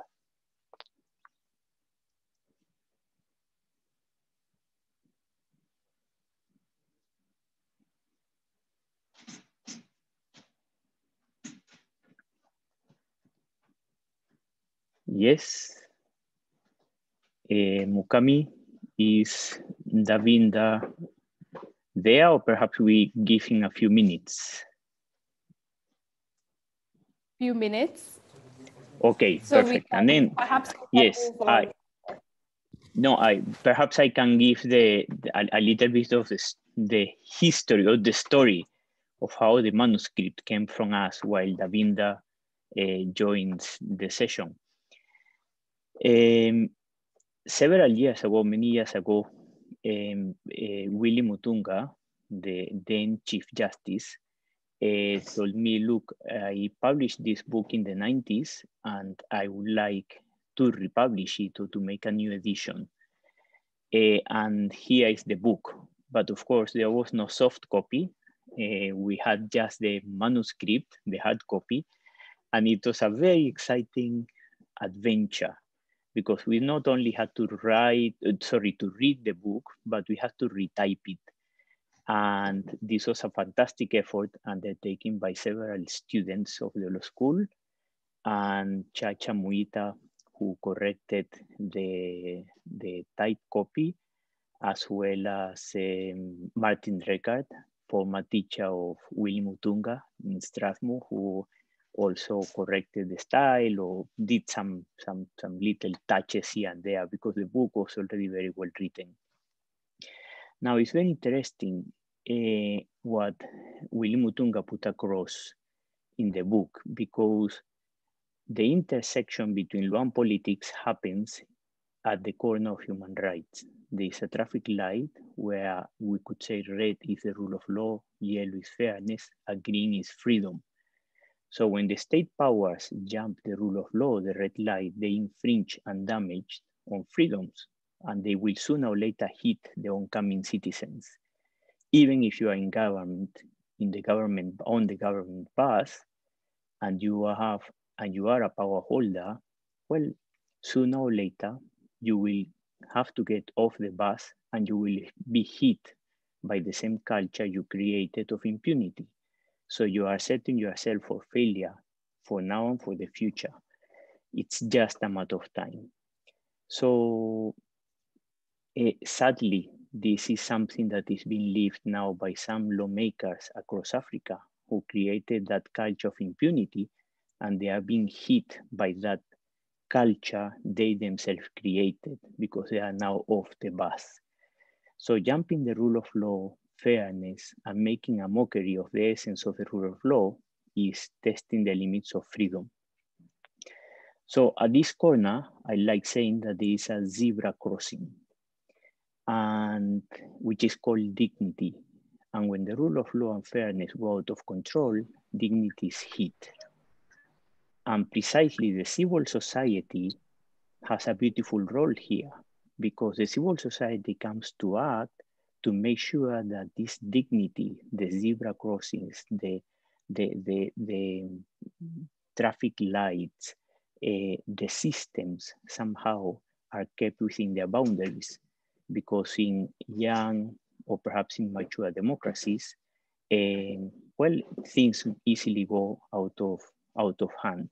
You need uh, somehow that civil action, that mob, that heckling, Eh, that keep things in place.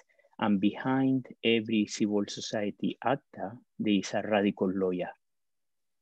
A radical lawyer, not in the sense of violent, of anarchy, but unstoppable desire to bring justice back into the conversation. And this is what Professor Issa Shivji was putting eh, in a beautiful way. So the modern lawyer who reads the language of justice uh, in a whole contextual way is the person who will push uh, government systems to get back to justice. I, I tell you a little interesting story. I have a, a brilliant former student who is doing her PhD in SOAS, and she's doing it on the language of art and music in justice. For example, how arts, musical exhibitions, concerts, etc., speak to us of justice in the sense of uh, uh, in the sense of, of what is society telling the lawmakers, what is society telling, telling, telling the people and telling the government through arts. So well, the time is coming when certainly NGOs, civil society have made an incredible um, push in, in, in, in Africa, but the time is coming where, well, African funded NGOs will have to be present in the US, for example trying to bring into the conversation the, the breathing space they have forgotten to have because we know that democracy is founded on a majority with a minority and the link with, between them is dialogue and that dialogue is built on dignity. Certainly that dialogue is cut, dignity is destroyed, minority suffers, and then you have the tyranny of the majorities. Well, precisely, we need those radical lawyers, we need civil society, and we need to learn from the teaching of these great men and women, uh, somehow of the past, but who continue being present in us and through us and after us through their writings. And we thank Willy Mutunga very much for his contribution. Well, now I think perhaps Mukami, we can call in Davinder Lim, uh, uh, sorry, Davinder, to, to give his very few remarks, his two minutes reaction, and then I will call upon uh, the Right Honorable Patricia Scotland. Franceschi. Uh, so we uh, think we shall be uh, done in about uh, 10 minutes uh, and karibu to uh, Davinder Lamba to give us your reaction to this book, Constitution Making from the Middle.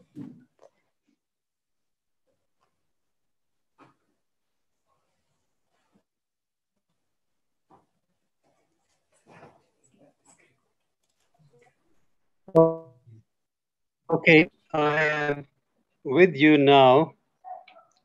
Can you hear me? Yes. Yes, we, we can. can.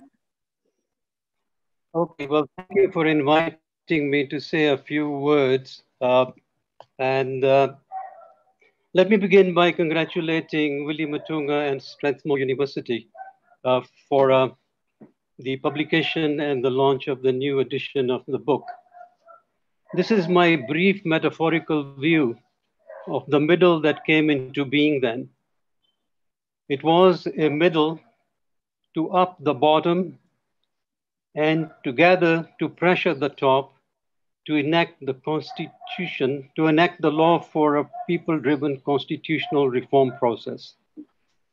Further, to pressure the top to meet the immediate legal and political reform demands of the first multi-sectoral National Convention Assembly, NCA, of April 1997.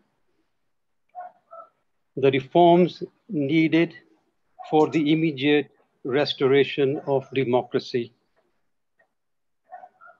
It was the self-interested opposition political party sector of the National Convention Assembly that betrayed the movement by their unilateral decision to join the inter-parties parliamentary group IPPG initiative of, initiative of KANU. This triggered the clamor of the NCA NCC no reforms, no elections campaign. Beware of the political class, beware of the betrayals of the political class from then and many to follow afterwards. Thank you for giving me a couple of minutes. Excellent. Thanks a lot, Davinder. Uh, sorry, Mukami, I cut you short. No, no problem. Uh, okay. Excellent. Uh, you see, lawyers have the, the ability to take over anything they touch. so I would like to ask now uh, the Right Honorable Patricia Scotland QC and Secretary General of the Commonwealth um, to give us a few remarks. And I understand that Willy and perhaps Yash, uh, Professor Yash will want to say something very short after to to thank you for the for the remarks. Um, okay, and the floor is yours. Secretary General. Well, firstly, can I say um, good morning, good afternoon, good evening to all of our colleagues who have gathered today. It's a great privilege for me to be able to join you. Today, Kenyans mark a great milestone, the 10th anniversary of the Constitution of Kenya 2010. The people of Kenya celebrate the Constitution because it is progressive, auto uh, and more importantly, it's about justice. Any good law is about justice and for justice. The book we launched today as part of the 10th anniversary celebrations is about this struggle for justice. Dr. Willy Mutunga, the author of the Constitution Making from the Middle, who has also represented me as my special envoy in the Maldives, is one of the selfless people who sacrificed their lives to lead Kenyans in this struggle for a more just society. And I am delighted to be part of the celebrations to mark not only the 10th anniversary of the Constitution, but also the new edition of Dr. Willy Mutunga's book.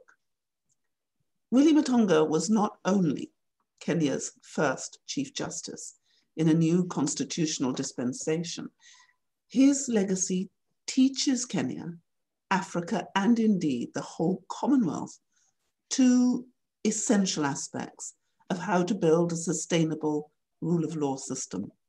First, he institutionalized judicial independence by resisting pressure from any extrajudicial source or power and allowed judges ample latitude to decide according to the law, guided by their good conscience and a sense of justice. Second, he understood democracy, freedom, and the importance of key structures that guaranteed their sustainability.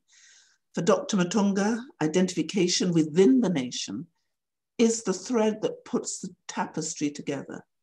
Identification links everyone up. Identification keeps the nation together. That is why constitutions must be the genuine result of that togetherness that originates in the social dialogue. Identification is a hard uphill task in plural or multicultural societies. The greatest headache in a pluralistic setting is achieving that sense of identification that makes us feel we are together. Willy's book is about a time in history when Kenyans sought a way to wave and the tapestry of law. They sought constitutional reforms a time when they sought human rights for themselves, a democratic space, when they sought an end to corruption, and when they sought to establish the rule of law. Willy Mutunga is one of those great Kenyans who sacrificed their lives, careers, and even personal honor to lead Kenyans in this struggle for reforms. He was not alone, and several of those great Kenyans are here in this webinar. I would like to mention with special affection Professor Yashpal Ghai, who has done so much for the rule of law right across the Commonwealth. Professor Louis Franceschi has told me so much about Prof. Ghai and his wife Jill, and also about many of the great Kenyans with whom I am honored to share the screen today. You all fought for, pushed, and steered the political momentum which resulted in a comprehensive constitution reform at the end of the millennium. Your efforts conceptualized Kenya's beautiful 2010 constitution. The struggle continues. The greatest challenge is implementation. As a Black woman and a former Attorney General of the United Kingdom, I always challenged all my colleagues to think of law as a tool for justice. Justice is the goal, and anything short of this will be a betrayal of our professional promise. Only when justice becomes a reality, we will be able to breathe. I am delighted to be among the people gathered here today to mark not only the 10th anniversary of the Constitution of Kenya, but also this publication and you, Willy. I wish you all a fruitful reading. I am incredibly proud that people like Lizzie are with us because they are our future. And the fact that this book will inspire them is something that I really want to celebrate and give my own personal thank you to you, Willy, because we have to pass this baton on to the next generation so they really understand that law is just a tool to deliver justice. And without justice, law is meaningless. So I wish you all a fruitful reading. Go forth inspiring young minds, creating change, and demanding accountability. Only this can secure Africa's future and a better world for our children's children. So thank you very much. May God bless Kenya and may God bless the Commonwealth. Excellent. Thank you very much, um, Secretary General. And well, I think after such a wonderful um, remarks, I don't know what to say. I see Willy there smiling broadly. I will let him have the microphone uh, for a reaction or two. And then I will be inviting everybody, Professor Yashpal Ghai and everyone in who have been a panelist to the book launch as it is. Excellent. Willy. Uh, thank you, Patricia. I, I wanted just to tell you that uh, the, the last point you made, the struggle for the implementation of the Constitution, uh, is, is now a burning question uh, in, this, uh, in this country because we realize that a progressive constitution cannot be implemented by uh, a leadership that subverts that constitution. So you're right, you know, the struggle continues and uh, thank you very much for your inspiration and encouragement. Excellent. Very true. Uh, implementation is the challenge. And sometimes we want to change things we have not implemented on the accusation that they don't work, but we have not implemented them. Um, I should have said also that um, we have with us uh, uh, Dr. Elizabeth Gachenga, the, the Deputy Vice Chancellor of Strathmore University, and Dr. Peter Kwenjera, uh, my very able, most able successor as Dean of the Law School, they will also jump in for the, for the launch. So perhaps Mukami, I should ask you now, put myself or put us in your hands. I don't know how a virtual launch is done, but uh, I hope there is no virtual champagne because we need it real. Okay, um, so thanks a lot, uh, Professor Franceschi. Um, thank you uh, to Davinder Lamba. Thank you to Baroness Scotland uh, for joining us. Um, and uh, thank you also to the professors uh, Yash and Jill Ghai, and also Professor Shivji, uh, Dr. Gachenga, and Dr. Kwenjera. so how the virtual launch is going to work um, is we can see you all on the screen. So really it's like you are here with us. And um, we will be unveiling uh, the book uh, right here uh, at the studio. Um, and you will see uh, the book also appear on, on your screen. Um, so Professor Franceschi, perhaps uh, you can lead us uh, along with Dr. Gachenga and also Dr. Kwenjera just to declare the book launched. Excellent. So, uh, Dr. Gachenga, do you give us permission, Dr. Kwenjera, to declare this book launched um, together yes, with Baroness Scotland, Yashpal Ghai, and of course the author Willy, a commissioner, everyone in the room. So excellent work, Willy. And this began a number of years ago. It took long but I think it was worth the wait. Yeah, so yeah, from uh, Strathmore Law School, uh, we thank you very much for the good job. And yes, uh, on behalf of the law school, we are very happy to have the book launched. uh, we would have been happier to have it launched um, physically, but even this will do. And maybe we will call for a repeat uh, because we would love to have uh, Dr. Mutunga here and this great team and Baroness Patricia and Luis and Professor Yashpal Ghai and everyone else on campus. Uh, after COVID, uh, I'm sure that you will visit us on campus. Uh, we will be happy to host you. Uh, thank you very much for everything. Yeah.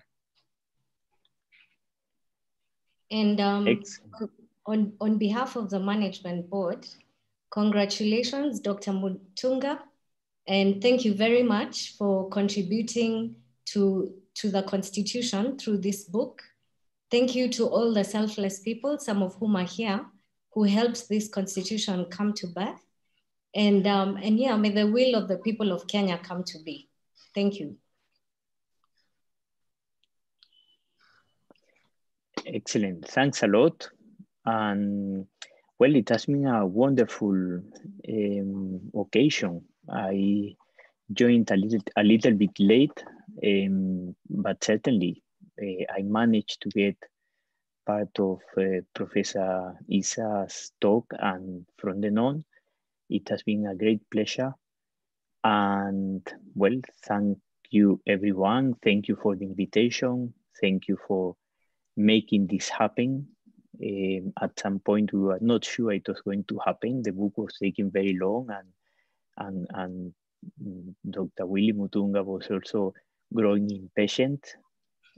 And well, finally, it has come to pass. And to pass means from our older generation to the younger ones. Lizzie, now the book is in your hands. Make the best out of it. Thanks a lot. Thank Mukami. you. Thank you. And here is uh, the book, Constitution Making from the Middle.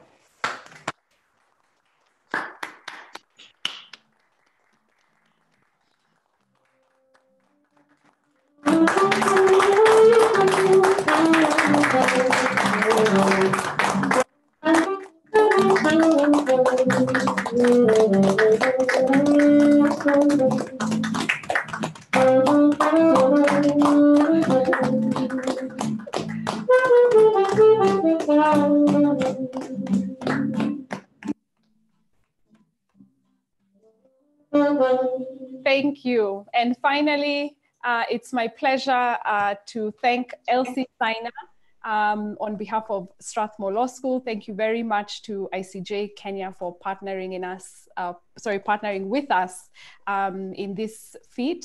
Um, and Elsie will be uh, giving us a vote of thanks. She's the head of programs uh, at ICJ. Karibu. Thank you. Thank you very much, Mukami and colleagues. Wow, distinguished colleagues. Our special guests, retired Chief Justice Mutunga, retired Honorable Baroness Patricia Scotland, Professor Issa Shivji, former Dean Louis Franceschi, and our ICJ Kenya Chairman Kelvin Mogeni. Colleagues, ladies and gentlemen, and our participants online, good afternoon. What a wonderful way and a wonderful note to end this celebration, which has marked the 10th anniversary of Kenya's constitution. During the last six weeks together, we have all delved into select themes and issues that were, that were some of them discussed in the, in, the, in the publication that eventually led to this promulgation of Kenya's 10 years, uh, constitution 10 years ago. We have examined, we have examined various uh, themes, the nature of the constitutional underpinnings, provisions on public finance, land and environment, issues gender and equality, devolution and national security we noted that indeed, as most of the speakers have said today, whereas the gains have been made, the challenges remain. So the hope and the dreams of Kenya, we hope that we will eventually achieve it. Therefore, on behalf of the ICJ Kenya Council, the ICJ Secretariat, and the team from Strathmore Law School, we extend our sincere gratitude for joining us today. It has been a remarkable six weeks of introspection and reflection. Secondly, I would like to also extend our sincere gratitude again to Strathmore School. You have really been partners with us. We have co-hosted this, a series of Katiba at 10 webinars. We also extend our appreciation. This would not have been possible without our development partners who worked with us and continue to cheer us on the journey towards you know, interrogating matters constitution, human rights, and the rule of law. We appreciate your support, and we are really, really grateful for that. Thirdly, we would also like to extend our heartfelt um, you know, gratitude to our partners in civil society. And this book couldn't have come at, at, at such a, a, timely time. We particularly single out our Kenya Human Rights Commission, Inuka Trust, and Katiba Institute. We thank you for your continued partnership. And as Henry Ford said, and I quote, coming together is beginning, keeping together is progress, working together is success. And I think today we can all say it's been such a wonderful success yeah. in bringing all of us together, including the distinguished panelists and participants who've joined us online. May we continue to collaborate and bring the dreams of Kenyans alive. Fourthly, to all the participants online and our stakeholders who followed us right from when we began the conversations in the first in the series we ask, we urge you to continue helping us to demand for better governance and respect for our constitution in Kenya.